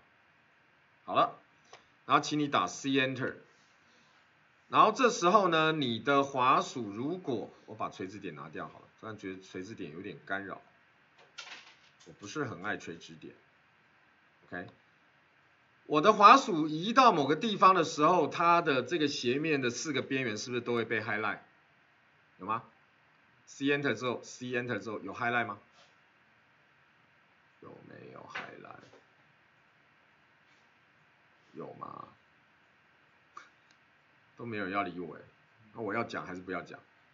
有没有 highlight 啊？highlight 就是它四个边缘有没有亮起来？有，然后点下去，我们画一个十五的圆好了，半径十五，直径等于三十的意思。好来，画好了吗？画好了没？这样你们下礼拜怎么期中考啊？好，请加油。好了吗？好了以后帮我把这个叉叉拿掉，然后直接挤出好了，来直接挤出这个圆筒呢，挤大一点，哎呦也太大了，挤往下挤，挤完之后把它减掉，a 减 b 会吧？A 减 B 会不会？可以吗？好，所以我现在呢就做了一个中空的东西，为了方便起见呢，给各位看一下，它现在长这样子。它消到后面那个没关系，I don't care。你们现在走到这一步的举手。哇，好少啊。还是我不要讲那么难，这个也没有很难啊，这不就是挤出差级就结束了吗？好，我再俺度一次，我再做一次给各位看。不好意思哦，已经完成的同学，你们稍微等一下，你们都做到这一步了吗？到底做到没？能不能给我一点反应呢？我快要哭了。有就有，没有就没有嘛，你点个头都好嘛。你们都这边每个人死在那里呢？你讲啊，你讲啊，这样子，那我怎么上课？我不知道我要不要上，到底有没有？这一步走到了没有？好，然后挤出 EXT 会吧？会哈，往下多挤一点。啊，差级会不会？差级叫做 SU，可以吗？SU 之后要选 A 再选 B，所以选 A Enter，然后再选 B Enter，啊，这样不就差级完了吗？然后用其他的视觉形式检查一下你的东东有没有处理好，有没有变了一个中空的东西，有吗？有了哈，那我要往下喽。你看了，我这时候就算我视觉我在我的图里面试图这样乱跑，跑东跑西，然后我用了视觉形式，我用了任何任何的视觉形式，其实都不会影响到图纸空间。为什么？这时候你按最小化四步回来。哎呦有影响哎，视觉形式会影响啊，sorry，抱歉，我刚刚说话说太快了，视觉形式会影响，角度不会影响，但视觉形式会影响。好，请问你，你这时候看到的东西啊，从上视图来看，它还是个圆吗？从上视图来看，它已经是个椭圆，你知道吗？它必须是个椭圆。好，那你从右下角的视图更明显，你从右下角的视图看得出来，这个斜面的圆在某些视角上，它看到的都是椭圆，它不再是个圆，可以理解吧？好，所以我想要去呈现那个圆。在某个平面上的样子，所以我唯一的方式就是做出它的正投影。那怎么做？我要怎么做出它的正投影？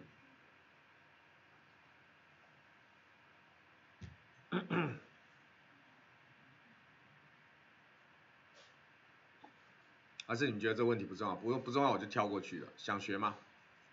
真的吗？啊，我感感觉不到渴望哈，来。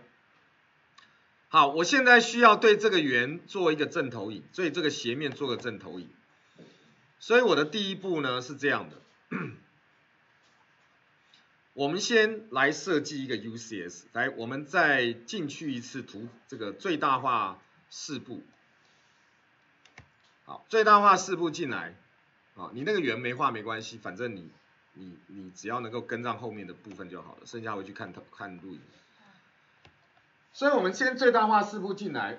记不记得 UCS 转换在很久很久以前教过，大概一个一个半月前教的 UCS 转换，记得吗？我要把我的 UCS 趴在这个斜面上很重要，因为我接下来要对它做正投影，啊，所以我打 UCS Enter，然后三点，第一点选原点，所以我点在这个角点，我把动态 UCS 关掉了，因为我再也用不到它了。我先关掉，重来。我先关掉动态 UCS，然后 UCS Enter，然后三点呢？哎，为什么一直给我动态 UCS？还是它它 UCS 进去就会动态 UCS 啊？不管 UCS Enter，然后三点呢？第一点选这里，可以吗？然后第二点，请你选。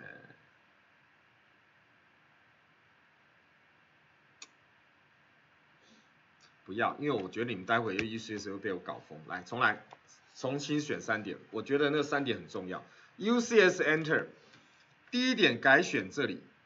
好，你注意到我跟圆柱的关系哈。第一点选这里，左最左边的那个左左高点，可以吗？然后第二点改选这里，就是原来我想要当原点的那个点，好了吗？然后第三点，请你选这里。好，我现在 UCS 趴上去了嘛，是呗？然后呢，我要做一个很厉害的指令，很久很久以前，大概三个礼拜以前教的，叫 Plan，P L A N。我希望有人记得哈，这个房间里面如果两个记得，我就感恩了。有人偷笑。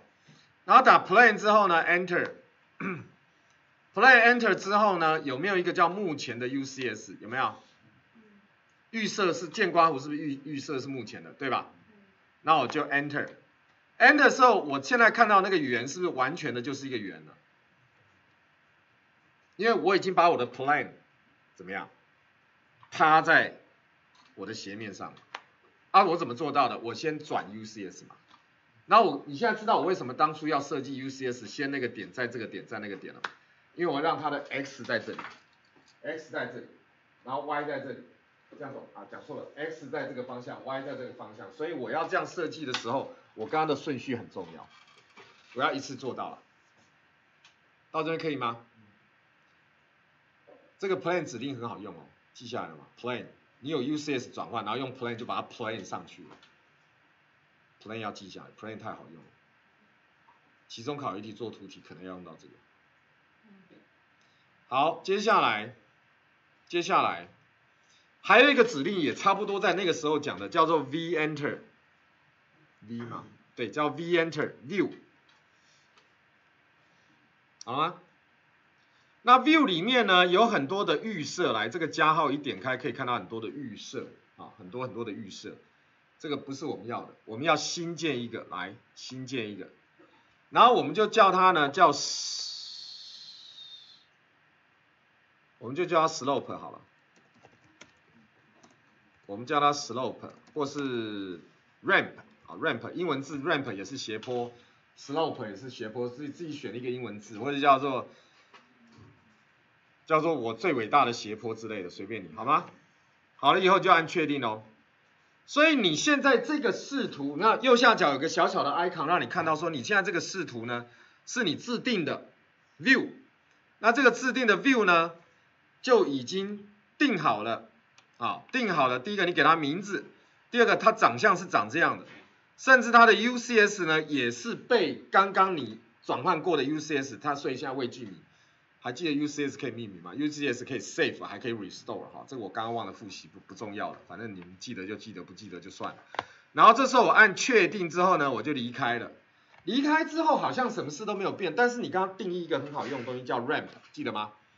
所以你只要打 v view，然后把 ramp 叫出来，它可以随时回到这个画面。到这边有问题？没好，来看着哦，按滑鼠右键最小化四步，我回来了。然后呢，我做一个新的 view，M V Enter，来 M V Enter，然后开在旁边。那开在旁边的意思只是说，因为我现在我图塞满了嘛，好，所以通常我的工作习惯是我还没有决定好我要放哪里之前，我还没有决定放哪里之前，我先放在旁边，虽然不会印出来，但是我就是在做排版，我要做排版，这样懂吗？OK，猜猜看我下一步要干嘛？下一步就是 double click 进去这里，OK，啊，猜一看我下一步要干嘛？打 V enter，那你不打 V enter，你也可以怎么样？你也可以在这里找哦，你也可以在这个小小的图里面的小小的左上角的小小的那个字。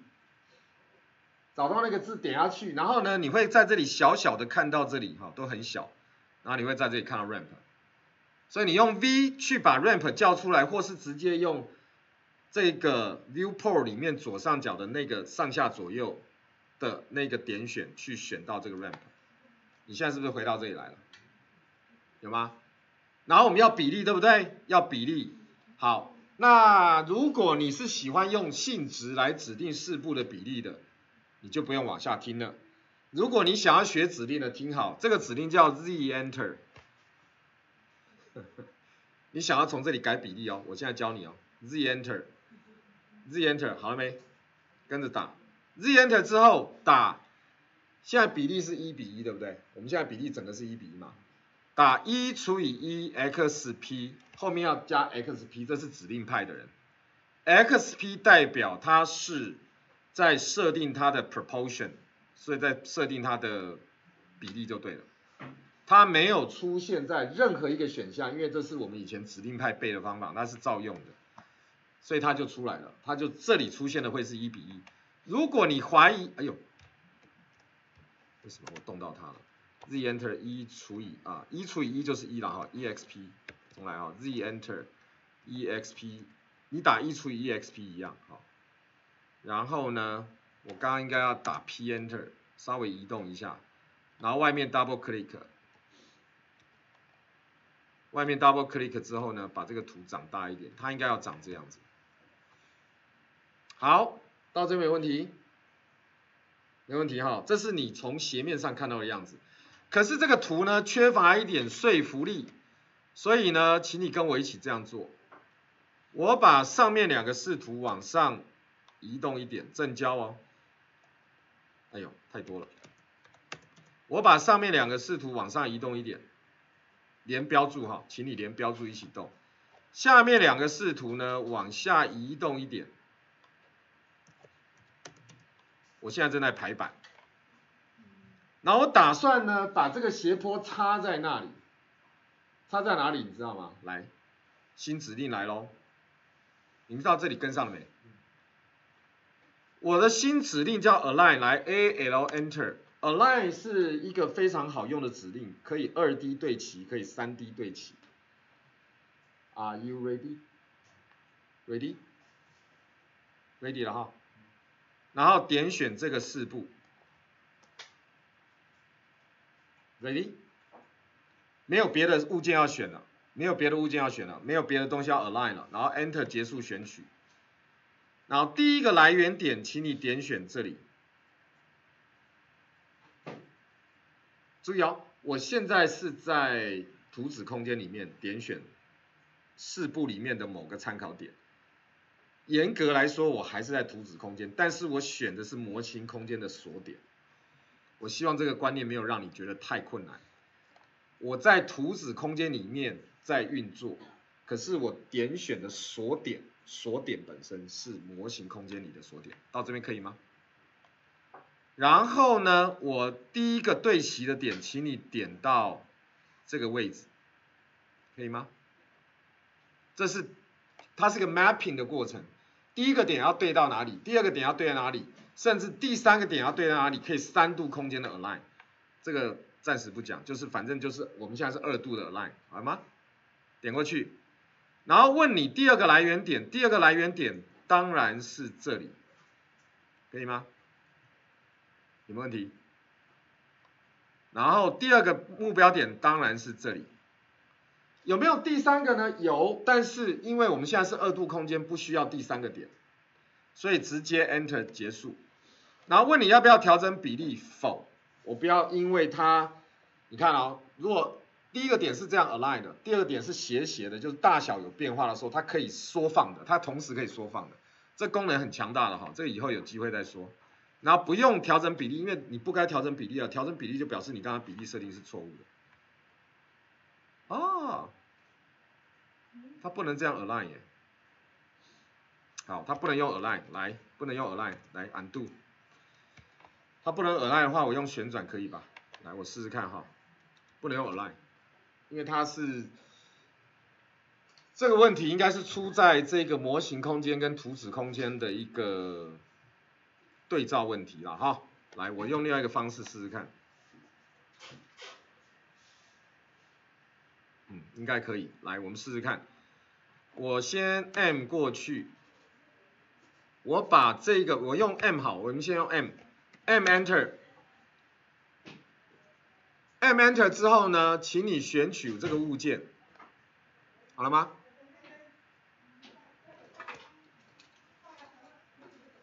然后选取物件之后呢，选取物件之后呢，我们就是选择这个四步，然后 Enter，结束选取，然后利用这个一样左下角这个点，好了吗？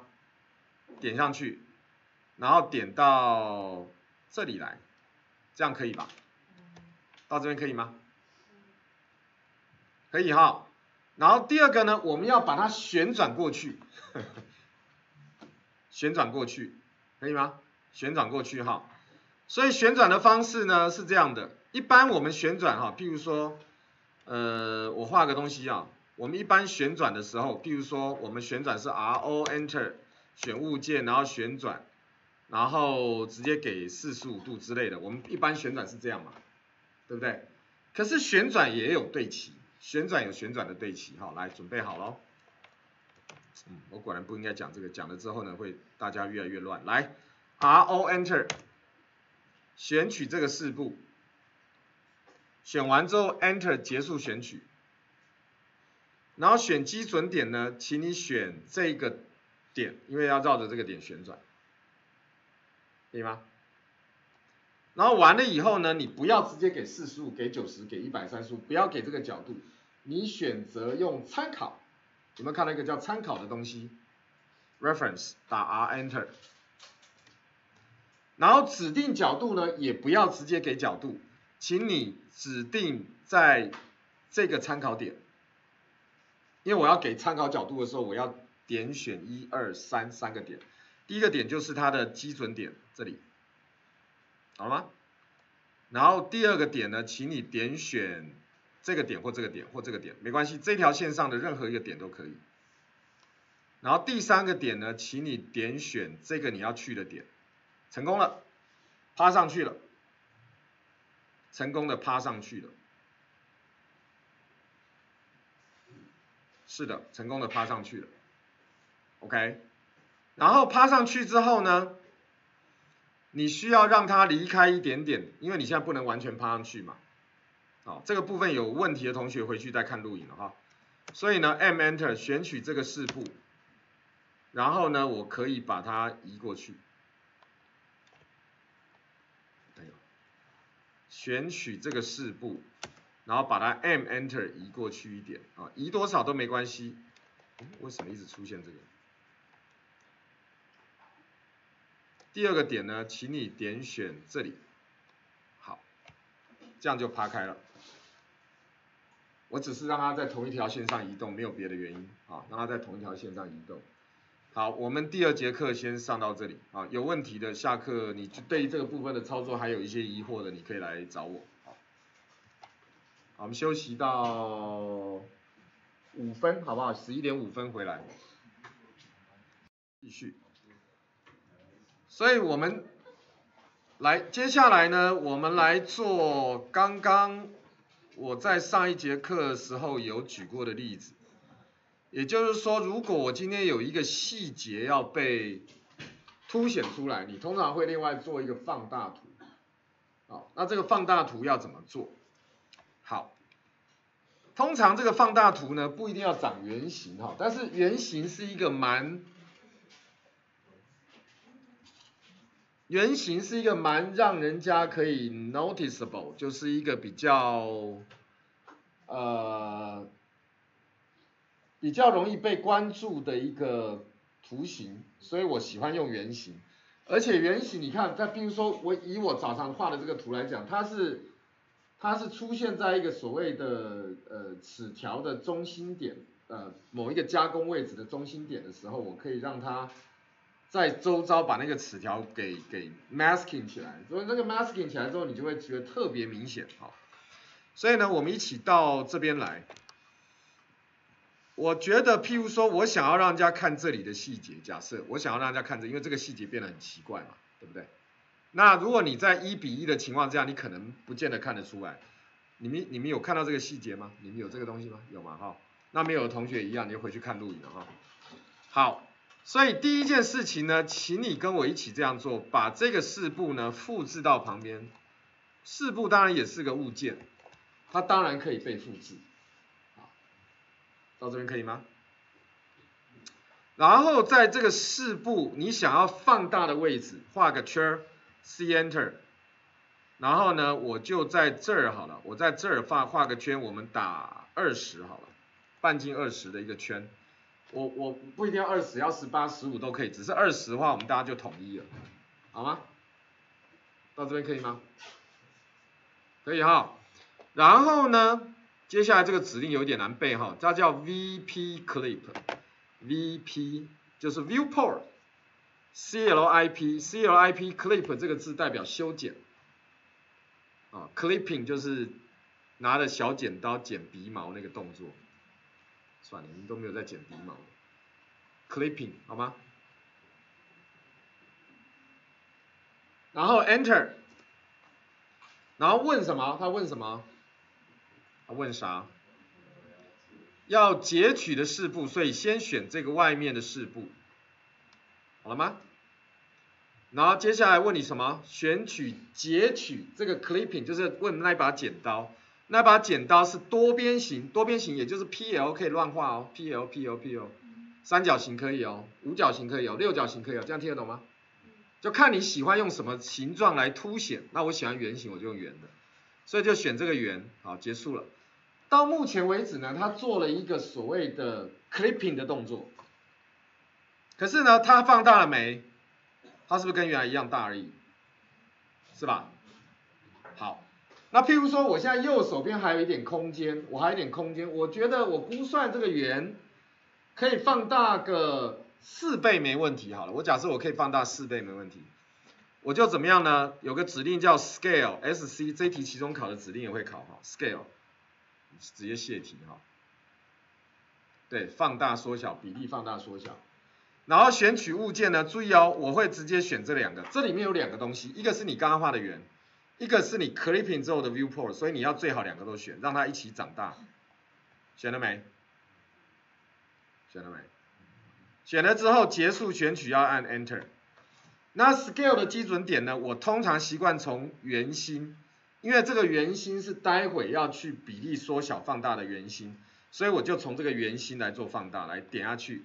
然后打四 Enter，四代表四倍放大，好，所以你这时候突出现了一个很有趣的画面，也就是说，这个家伙呢，这个四步放大四倍了，可是比例有没有变？那怎么办？怎么把比例变到对的比例？因为你刚刚是一比一嘛，你现在应该要四比一才对了，懂吗？所以怎么办？选取这个两个物件一起选没关系，按 Ctrl 一，一二三的一。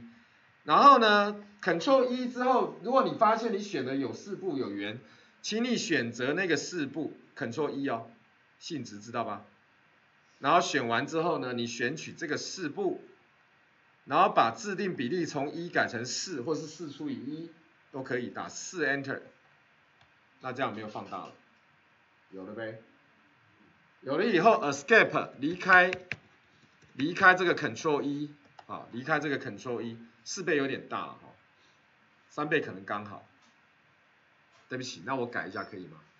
我选取这个物件，再 scale 一次哈，我再 scale 一次哦，来，太大了嘛，S C Enter，选取这个物件，整个一起选 Enter，然后呢，点选基准点，一样选圆心，打三除以四，因为四倍变成三倍，那就是四分之三，所以打三除以四，三除以四是一个合法的输入。它是一个分数，但是 auto 可以看得懂，到这边可以吗？然后一样再点选这两个物件，Ctrl 一，一二三的一，点选这个四步，然后点选它的比例从四改成三，好，这样它们两个才会长得一模一样。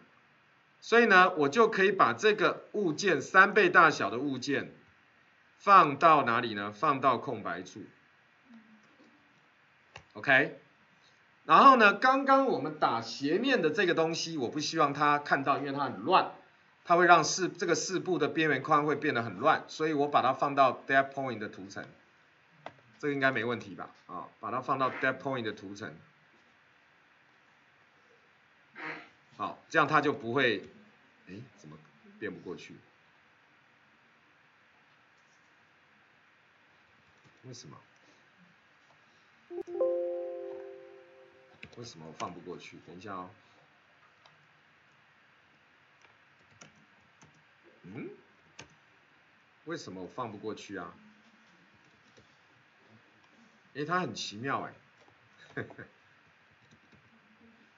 点选它是四步。哦，它原来它被我旋转之后，它会出现一个 P L 线把它包起来。所以我得一起选哈，一样，我这里要一起选，所以我这里要两个一起，然后呢，把它放到 depth point 的图层，因为我不希望看到它，因为它刚刚在我旋转的那个过程自己产生了一个 PL 哈，我不知道为什么要自己产生，有点多事啊，因为其他的其他的四步都没有这个问题，其他的四步就是很单纯的四步，好，好了，到这边可以吗？那完了以后呢，Control S 一下，Control P 一下。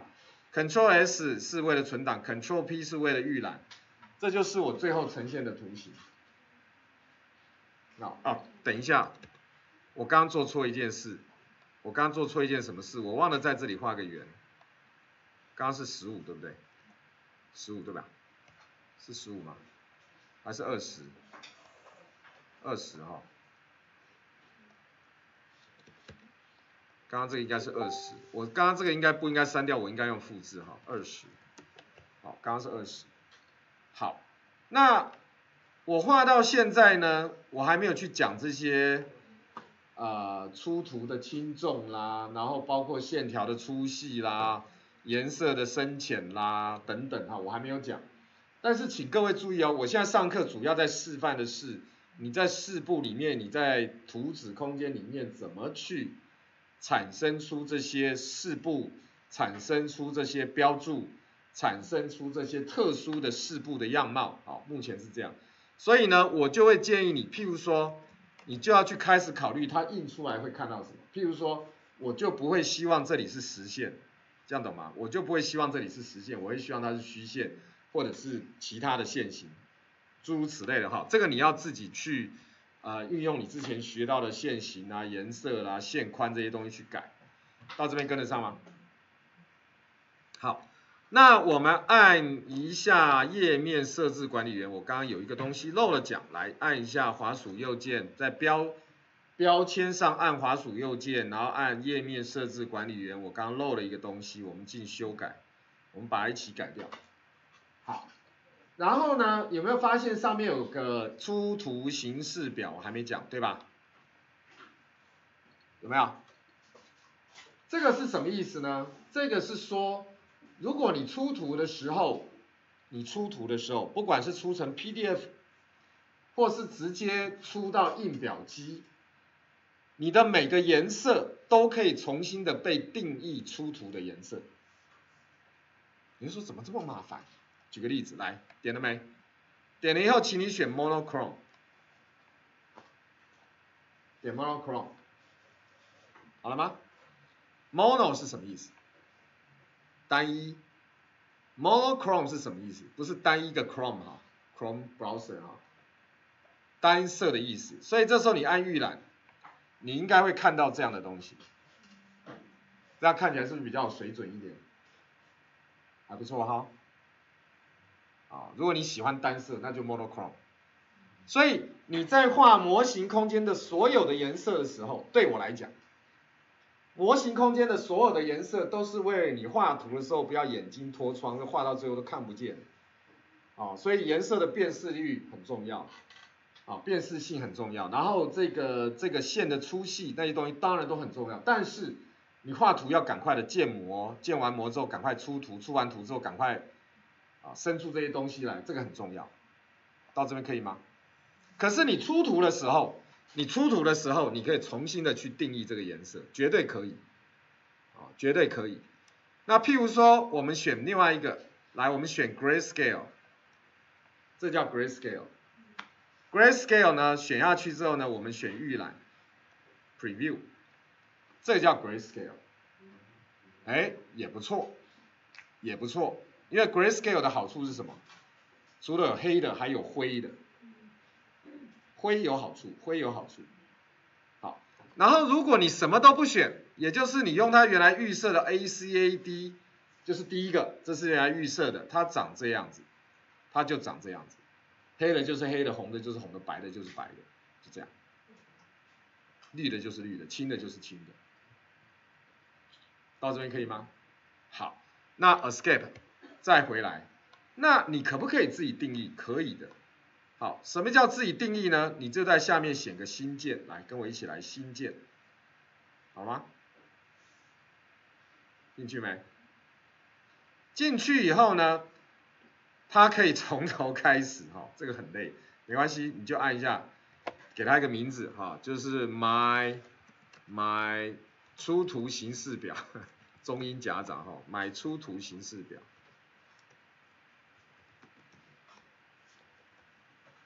它就英文应该叫 Plus Style 是不是？英文叫什么？那个 Mac 版的叫 Plus Style 吗？Plotting Style 吗？啊？啊？你们的页面设置管理员没没有这个东西？不是长这样。暂停录影一下。OK，好，所以。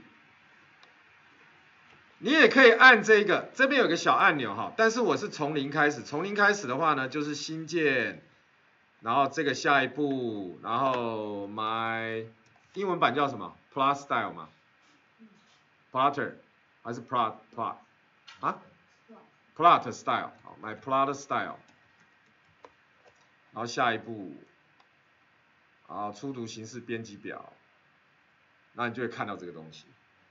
然后呢，你可以把所有的东西重新定一次颜色，这样当然是太慢了，这样太慢了。我们另外一个方式是怎么呢？就是你从一个已经寄存的开始，比如说我喜欢 monochrome，但是我喜欢 monochrome 里面把，比如说我标注喜欢红色，我标注非常喜欢红色，是个人的喜好问题。我红色就喜喜欢红色，蓝色喜欢蓝色，因为我喜欢有一些颜色被区别开来。我可以从 monochrome 开始，然后呢，如果从 monochrome 开始，我可以点选右边的这个 icon，然后什么呢？然后我可以把它另存，另存成 my monochrome，这样听得懂吗？你可以自己存你自己的 CTB，就是你的出图形式表，然后按存档。然后譬如说红色本来应该是黑的，黄色应该是黑的，大家都是黑的，可是我就要印，我就要把红色印成什么红的，这样听得懂吗？我就可以让出图的时候红色是红色，但其他都是黑的。这是看你自己喜欢什么，你你自己有你自己的 style。然后我按储存关闭，然后我现在来实验这件事情，那按确定。啊，但是呢，我新建了以后，我就要去选 My Monochrome。你就要去选 My Monochrome 了，好，然后你按确定哦。我先离开，为什么？因为我现在里面没有红色的嘛，所以我现在把我所有的标注，我把我所有的标注都选起来，甚至这两个圈圈都选起来。假设我想要强调这些，假设我想要强调这些，我把它们都丢到哪个图层？都丢到这个图层。然后呢，我按 Ctrl P。我按预览就会看到什么，都黑了，但是什么颜色被 stand out 出来？红色的。所以这个是出图形式表的作用。你不要从零开始，从零开始很累了。但是你可以从某个你最接近你喜欢的开始，然后修改里面的一两个颜色，然后就搞定了。OK？还没讲完哦，还有很多精彩内容哦。好，我们这次真的把它出图看看哈。你预览 OK 之后就 Escape，Escape 回到这里之后，如果你按确定就出图了，就按就出图了，然后我们就让它存到某一个你要的资料夹，譬如说你把它存到你要的资料夹，我们看一下 PDF 会长什么样子啊？我们费了一番很大的功夫，其实目的呢就是最终要把它出图，当然你可以改档名，这个 PDF 是你可以随便改的。好，然后这个图应该很快就会印完，好，它就印完。好，到这边为止呢，没有什么大问题，但是我们少了一点东西。那用这种方式出图的好处是，它会给你刚刚那个标签，所以你将来你这边所有的图纸会列成 PDF 的标签，这是一个非常大的优点。这 AutoK 在新版的呃这个里面几乎都有标签的功能。等一下会有一个更有趣的叫图纸集，我们等一下会来讲。但是这里面有一个比较小小的遗憾是，这种图通常人家看不懂。为什么？它虽然是立体图，可是它应该要怎么样？它应该要隐藏吧？也就是说，不该看到的线不应该看到吧？对不对？好了，我们来看一下怎么处理这这一段。好，来，注意哦，这一段会有一点难懂哦，但是我相信如果你们认真听，听一次就懂。那听不懂就可能永远听不懂了。接下来呢，我要来处理这一个四步。这个四步呢，我刚刚是用二 D 线架构，对不对？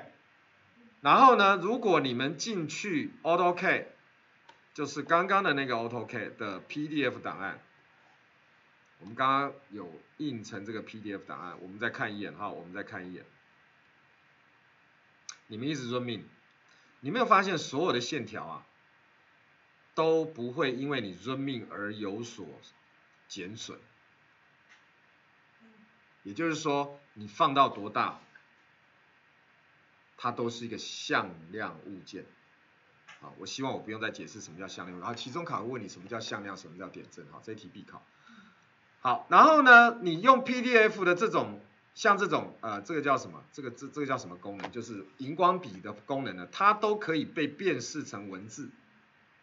所以这是个向量档案，这个 PDF 是个向量档案，也就是说 AutoCAD 是个向量档案，连你出来的 PDF 都是向量档案。好，来，接下来我们来看另外一个表演哈，我们回到 AutoCAD，我们点选一下这个物件，Double Click 进去，然后把二 D 线架构改成概念，可以吗？概念，概念很立体吧？是呗？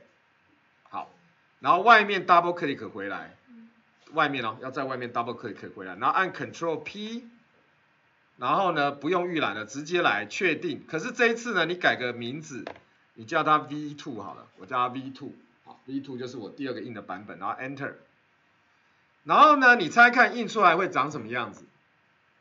会长这样，没有 surprise 吧，对不对？有人觉得 surprise 吗？没有。可是 surprisingly，你如果你现在 zoom in 了，你就会看到什么？马赛克，表示它是一个什么？点阵图，它是个点阵图。然后呢，这些呢还是向量，这些你怎么 zoom in？它顶多就是歪掉一点点，可是它是个向量，它是 PDF 里面的向量物件。但是这个是点阵物件，我 personally 我非常讨厌点阵啊，怎么了？什么？因为它斜线没有办法被马赛克的时候，就会显示出它的缺点。就像你青春痘，你可以贴上一个东西，但是青春痘很大颗，你就贴不住了。这个比喻懂吗？它贴不住啦。这个是向量的样子，只是因为它的马赛克表现不出来，因为马赛克就是方正嘛。马赛克就是一零二四乘七六八一九二零乘一零八零，它永远是方正的排列嘛，所以你这里看不出马赛克。可是，可是这露馅啦。可是你永远不要期待你画的图就是简单的水平线跟垂直线好吗？这是不会发生的，那你就不用画了。Personally，我觉得你用了 AutoCAD，你印成 PDF 就不应该有点阵，就这样。那怎么办？很不幸的哈，我告诉各位一个很残酷的事实。很不幸的，很不幸的是，来，我们 Double Click 进来，这里面所有的视觉形式，只要是 3D 的视觉形式，全部是点阵。在出图的时候。除了一个例外，来，所以你那个例外要记起来哦。那个例外在哪里？知道吗？好，那个例外是什么呢？不在这里面设定，来，double click 出来，double click 出来，不在这里哦。你要点选这个四步，我要讲唯一的例外了，所以你要记笔记。点选四步，按滑鼠右键，好了吗？然后按描影出图，选描影出图，叫做。Shaded plot 有吗？有 shaded plot 这个东东吗？你要选四步滑鼠右键，五宝，make 版，shade plot，对不起，shade plot，因为有时候不知道它有没有形容词，好了好吗？shade plot 了哈，然后呢，shade plot 以后也是有一堆一堆三 D 的二 D 的视觉形式，只有一个例外，哪一个猜看？第三个隐藏，注意哦，不是，英文版应该叫 3D hidden，然后中文版应该叫 hidden，跟 3D 呃，中文版叫隐藏跟隐藏，中文版完全无法驱使，中文版完全无法区别哈，这很不幸的，中文版就是隐藏隐藏，这两个隐藏不一样哦，不一样哦，上面是二 D 的 hidden，下面是三 D 的 hidden。什么意思？你只有三个，谁只有三个？你们 Mac 版的只有三个，那我不知道，你等下试了就知道了。你就选 Hidden，可以吗？你就选 Hidden。那中文版要选什么？Window 版要选什么？知道吗？选第三个。你要是选了第六个，第六个叫做 3D Hidden 的，或者中文版叫隐藏的。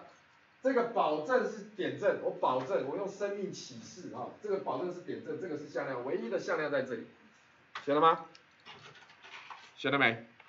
第三个你要记住，因为中文版无法区别，选了哈，选了以后，不要急着三，不要急着列印，你还有一个动作要做，这动作有做没做差很多哈。那那个动作呢？我现在故意保留，你要应该要做一个动作再来做这件事，而且应该要存在你的样板档做这件事情，而不是每一次都要设定这些东西。想象一下，如果你都存成样板档，以后的很多事情是不用做的，这样听得懂吗？好，这个指令记下来叫做 disp S I L H 很长哈，它叫 display 呃 display silhouette 啊 silhouette 啊 silhouette 就是显示轮廓这件事，D I S P S I L H 这个 Mac 版一定有，因为这是指令一定有，好了吗？然后 Enter，原来预设是一还是零？好，应该要改成一，哎，这是一，我改过了。哦，因为我的样板档改过，你们现在都是一嘛，因为被我改过了，所以你下次开一个新的档案，它会是零。好，那我就故意改成零哦，我我先讲目标是改成一，但是我要改成零，让你看它零长什么样子，来改成零。好，先改成零，就是让你知道它的区别，因为你开一个新的 AutoCAD 样板档是一定是零的，会是一是因为你开的是我的样板档，然后 Control P，然后预览，你会看到这种东西，ugly，另外一种 ugly，它是向量，但是非常非常的 ugly，I hate it，I hate it 啊。可以吗？Escape 不要列印哦，不要列印哦。回到这里，也都不要列印。然后呢，在 S I L H D I S P Enter 啊，不是啊，D I S P S S 讲讲反了，S I L H，然后改回一，然后 Control P，然后预览啊，不用预览了，直接来了哈，呃，直接来了哈。你如果改回一的话，就直接来了，确定。然后我们这叫 V3 啊，我们这叫 V3 的版本，这是第三版。然后呢，送到绘图机，绘图机就是你的 PDF plotter，它会长这样子。这是它用隐藏的方式印出来的，我觉得够立体了，不需要更立体。然后它是一个纯向量，这个非常重要，它是纯向量，啊，斜线不会马赛克。因为它在 PDF 里面是用向量的概念在显示的，所以它不会有马赛克。马赛克有很多的好处啦，但是有时候说老师我就是喜欢描影，描那个呃叫什么概念拟真，我喜欢 X 射线，我喜欢那种 OK，但是我是要让你知道那个区别，它出来会是点阵，它一定是点阵，它没有别的选择。它也只有点阵的方式才能显示你那些很复杂的 shading，可以吗？好，到这没有问题哈。好，我今天其实只剩下 两个东西要讲哈，应该来得及。一个叫资料萃取，一个叫图纸集。我先讲图纸集好了，来，那请你跟我一起这样做哈，Ctrl S 一下。好吗？然后你帮帮我在 A B C 一二三这里按滑鼠右键，OK，然后帮我选择复制或移动，移动或复制，英文应该是 Move or Copy 之类的，对吧？没有吗？你没办法选择，哈？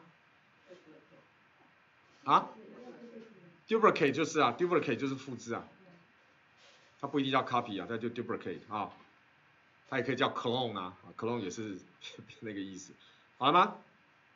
点了哈，点了以后呢，请你把它移到最后，然后建立一个副本，就是一个 duplication 啊。，duplicate，然后移到最后的原因是因为我就希望它到最后面，OK？那你也可以在配置二之前啊，我等下打算把配置二杀掉，因为配置二不是我生的哈。这样听得懂吗？好，我现在呢就打算移到最后，然后按确定。按确定之后呢，我现在有三个配置，一个是 A B C 一二三，一个是配置二，配置按滑鼠右键把它 delete 掉，删除掉。所以我现在只剩两个配置，一个叫 A B C 一二三，一个叫 A B C 一二三刮胡二。好，这两个东西看起来一模一样，对不对？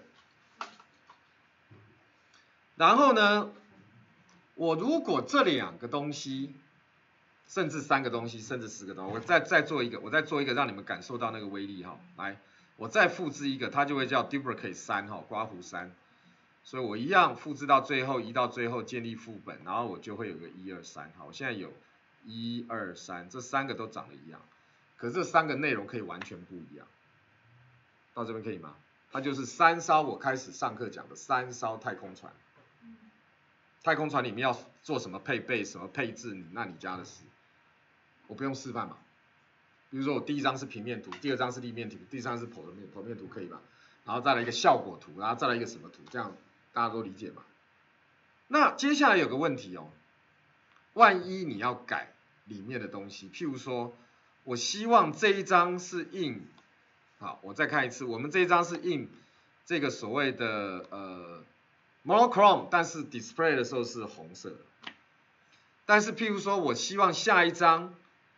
好，下一张呢，就是我的刮胡二这里，我刮胡二这里，我希望它是 monochrome 的时候，那当然很简单，我就点选它，滑鼠右，哎，不是 monochrome，我希望它是彩色就是彩色，那我就点选它，滑鼠右键，然后页面设置管理员，然后修改，然后把这里怎么样，就改成这个，对不对？对不对？那我改的是这一张的哦，我改的是这一张的，你看到这边有一有二有三，对不对？所以我现在改的是这一张的哦，所以我关掉它之后呢，我对第二张 Ctrl P，然后按滑鼠右键，我看到的是什么？是彩色的，对吧？是彩色的，这没有什么 surprise。可是其实大多数的状况是什么？大多数的状况是，如果你的配置，譬如说，譬如说。你想要改这个出图偏移量，譬如说你想要改它的呃，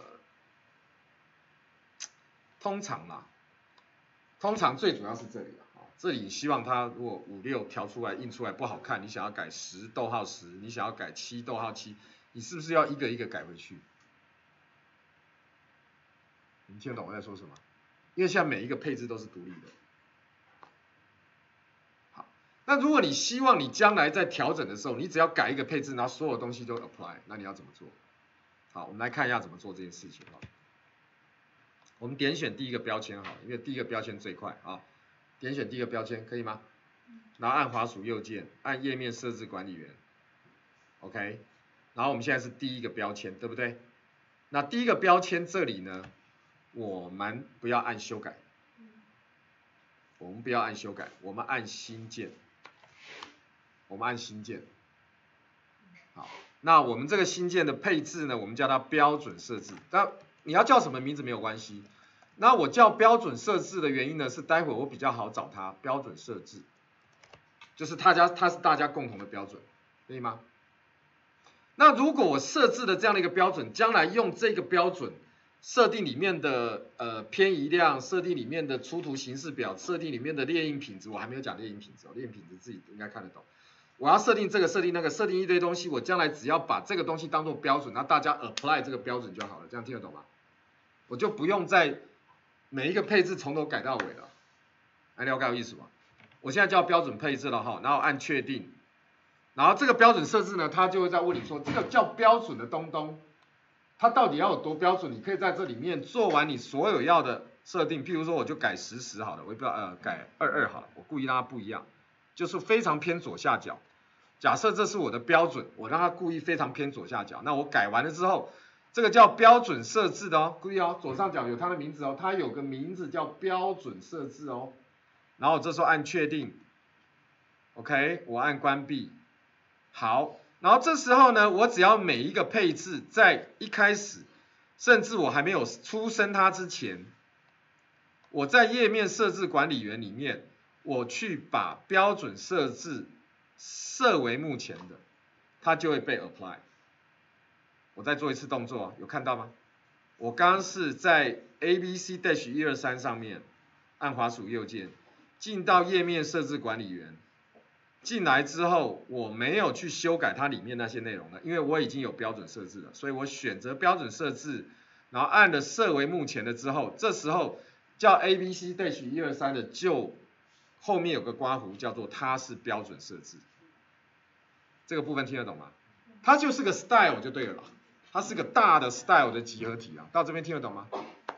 所以我按关闭，然后按这个第二个一样哦，第二个，其实你应该在他出生之前就要做了哈，那我现在是事后补上，但是给各位看这中间有多麻烦。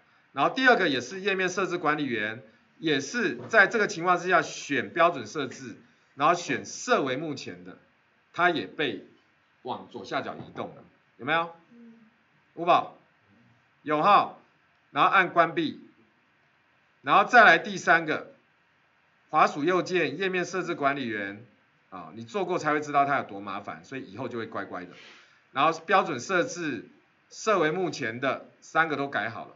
好，所以下次如果你要有这种大家都长得一样的标准设置，但是我要改，譬如说，来我们一起来，我在任何一个地方按滑鼠右键，按页面设置管理员。选择标准设置，我这时候标准设置是一个新的设置，这个设置没有出现在任何的要里面，但是是大家都 apply 它了，但是我这时候按按修改它，我按修改它，然后我把大家都改成，我把它改成十逗号十，听得懂吗？我按确定，他就问我说，是不是所有的配置应用到标准设置都要改？你就试就好了，你就全部人都改好了，也就是说，万一你有一些设置是很重要的。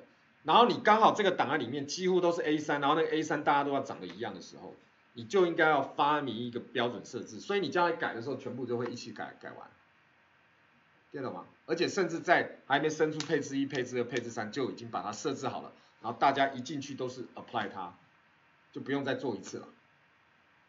到这边听得懂吗？好，然后呢，呃，我们。要来讲最后两个单元哈，我一直没讲哈，一直没讲。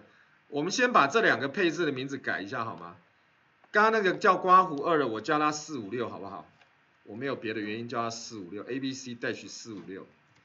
好，请大家跟我一起哈，A B C dash 四五六。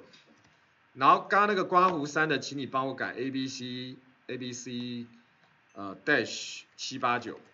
所以一个叫一二三，一个叫四五六，一个叫七八九。这个是所谓的图号啊，这个是所谓的图号，到这边可以吗？这是所谓的图号，然后这三个配置是独立的。我再讲一次，里面要放太空船，里面要放吧台，太空船里面要放一张床，太空船太空床，太空船里面要放一个呃呃教室，随便你听得懂吗？这三个是独立的，但是我现在没时间去改里面内容，那你加的是了。好，来，Ctrl S 一下。Ctrl S 很重要，Ctrl S 之后呢，现在这个档案会记得它有三个配置，分别是一二三四五六跟七八九。Ctrl S 它会记得，你没有 Ctrl S 之前，它记得只有一二三。好，请你到工具选项板，然后图纸集管理员。那如果你没有办法找到这些很复杂的 menu 的路径，你就按 Ctrl 四，Ctrl 四是它的快速键。，Ctrl 四是快速快速键，有东西吗？有，那就对了。好，来 Ctrl 四，快速键应该是一样的哈。然后你看到的呢，应该是一片空白。那我为什么会有这个东西呢？因为我今天早上在工作嘛，所以我正在做非人飞扬的齿轮加工的图嘛。好，那你这里呢，请你从新图纸集开始，所以你在上面点选一下，选新图纸集，可以吗？跟我一起哈，新图纸集，然后建立图纸集呢，是用既有的图面，因为你现在正在这个一二三四五六七八九的这个档案工作，所以你就直接用既有图面了哈。来下一步，好了吗？好了吗？那图纸集名称你叫它图纸集练习好了，图纸集的。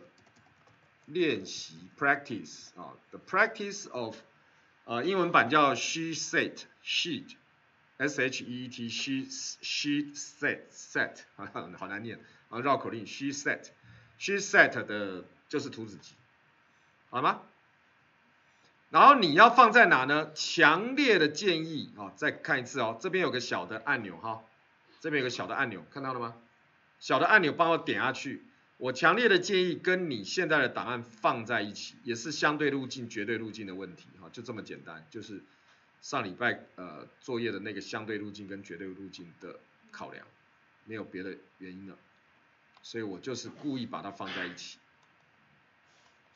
好，放在一起了。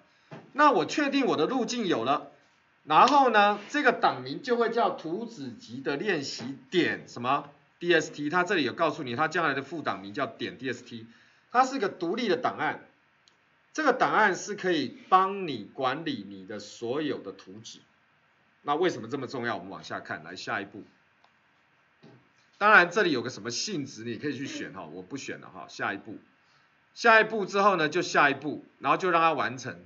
所以它现在是空的，它现在是一个空的，叫做图纸集的练习。到到这边有没有问题？没问题吧？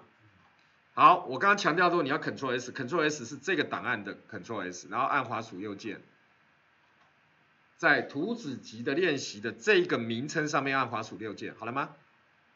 可以吗？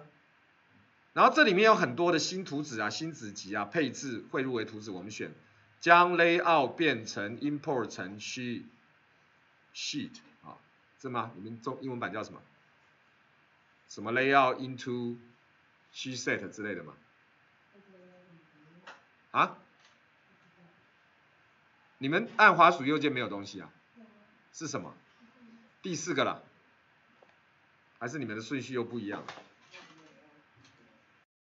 我讲一下刚刚这个错误来自于什么呢？不是错误了哈，就是刚刚同学呢。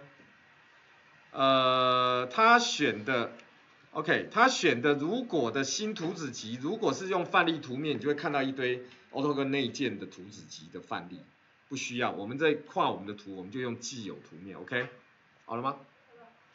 好，那我刚刚是在干嘛？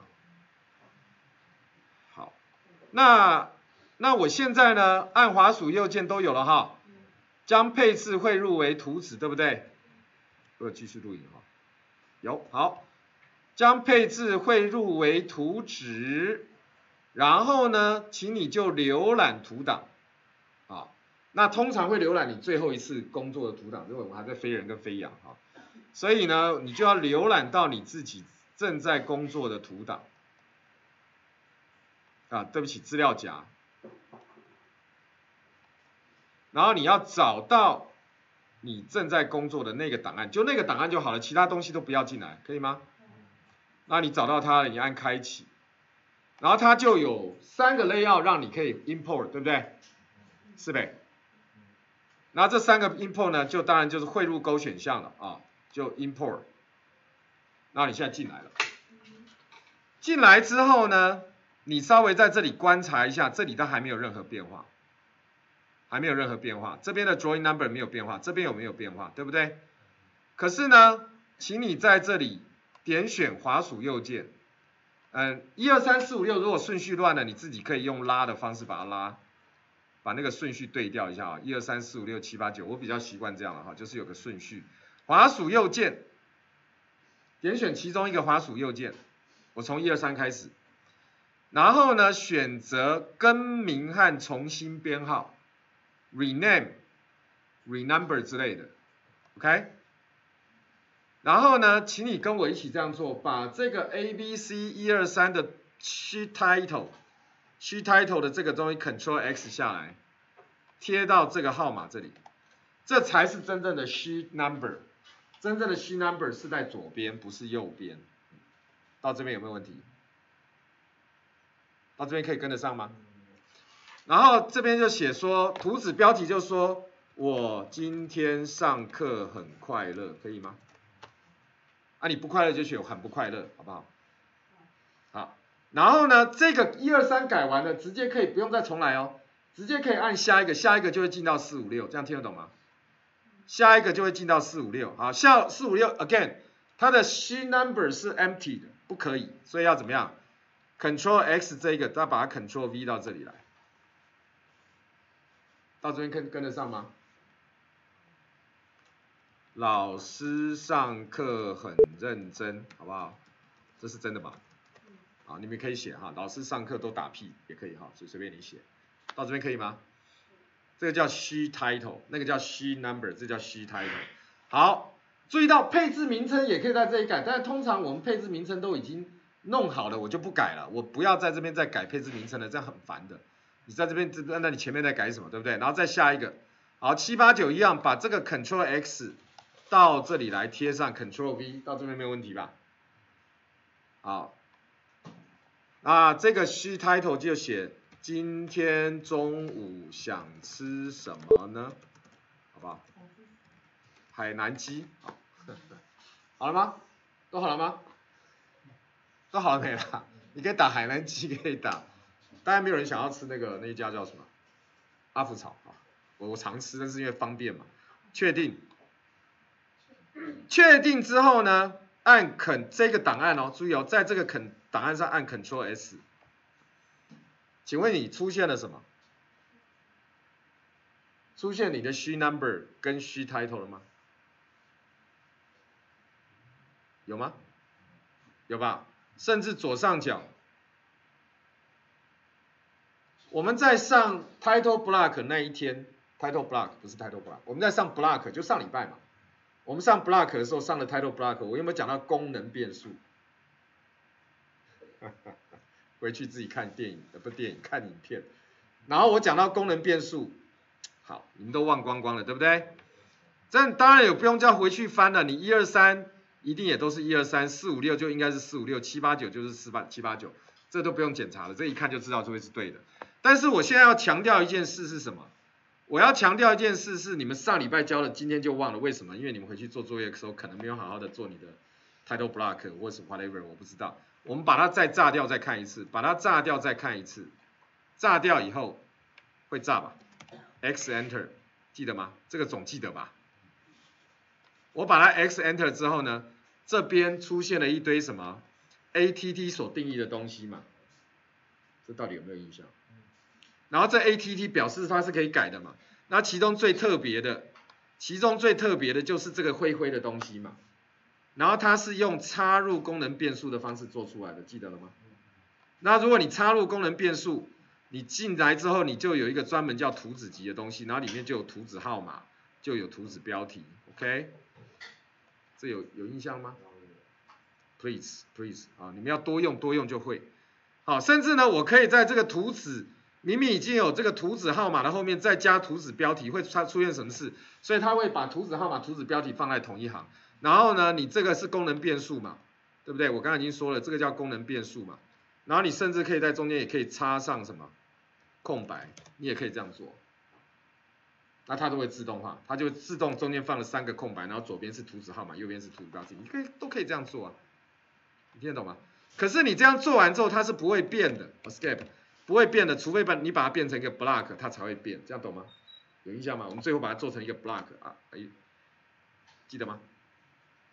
好，那图纸集讲完了，资料萃取下次讲，因为我觉得太多了，我在讲资料萃取你们会疯掉，对吧？应该每个人都快疯了哈，连我都快疯了，因为你们也没什么反应，所以这是造成我疯狂的另外一个原因。Anyway，我们今天上到这里，下礼拜期中考，我再讲一次，三十分钟笔试，close book，close notebook and laptop，然后你们交上来你的笔试考卷之后。才能 open your book，open your notebook 跟你的 laptop 是 open book 考绘图，绘图就剩两个半小时，三个小时九点考到十二点，不会延长，绝对不延长，保证不延长。然后电算中心那边的易学员会在十二点准时收卷关门，你就没有办法上传了。所以建议十二点四十就开始陆续上传，就 Control S 存档。然后赶快上传，Ctrl S 存档，赶快上传，可能五分钟、十分钟存一次的，十一点四十开始，免得到时候你传不上进是零分。好，笔试，笔试占五十分，绘图占五十分。笔试里面会叫你背一些基本的指令，比如说我问你 circle，不是，我问你画圆的指令，画聚合线的指令，这个很基本，我不会考太难的，但是你们最好回去把这份讲义看一看，可以吗？哪一份知道吗？我还没讲，你们就好，就一快捷键或全名都对，但是如果不是快捷键，也不是全名就错，就你不能写一半啊，你不能写 C I R，因为没有这个指令，你可以打 C 是正确的缩写，Circle 是正确的全名，这样懂吗？对。然后基本上就是五十分或笔试五十分绘图，然后期中考占总成绩百分之三十。所以如果你缺交了很多作业，这是你补写的机会。一次作业大概五分六分左右，所以相当于五次到六次的作业成绩。如果你缺交了很多，please，这是你补写的机会，好吗？还有其他问题吗？对，可以考一百没问题，我会让你一百啊。如果你考一百，我就给你一百。还有其他问题吗？没有了哈，啊，考零分就零分哦，就没有了，就没有了。三十分就没有，三十分就没，就是你剩七十分可以扣，那你就算你什么时候会被当掉，这样好不好？还有其他问题吗？好，下课。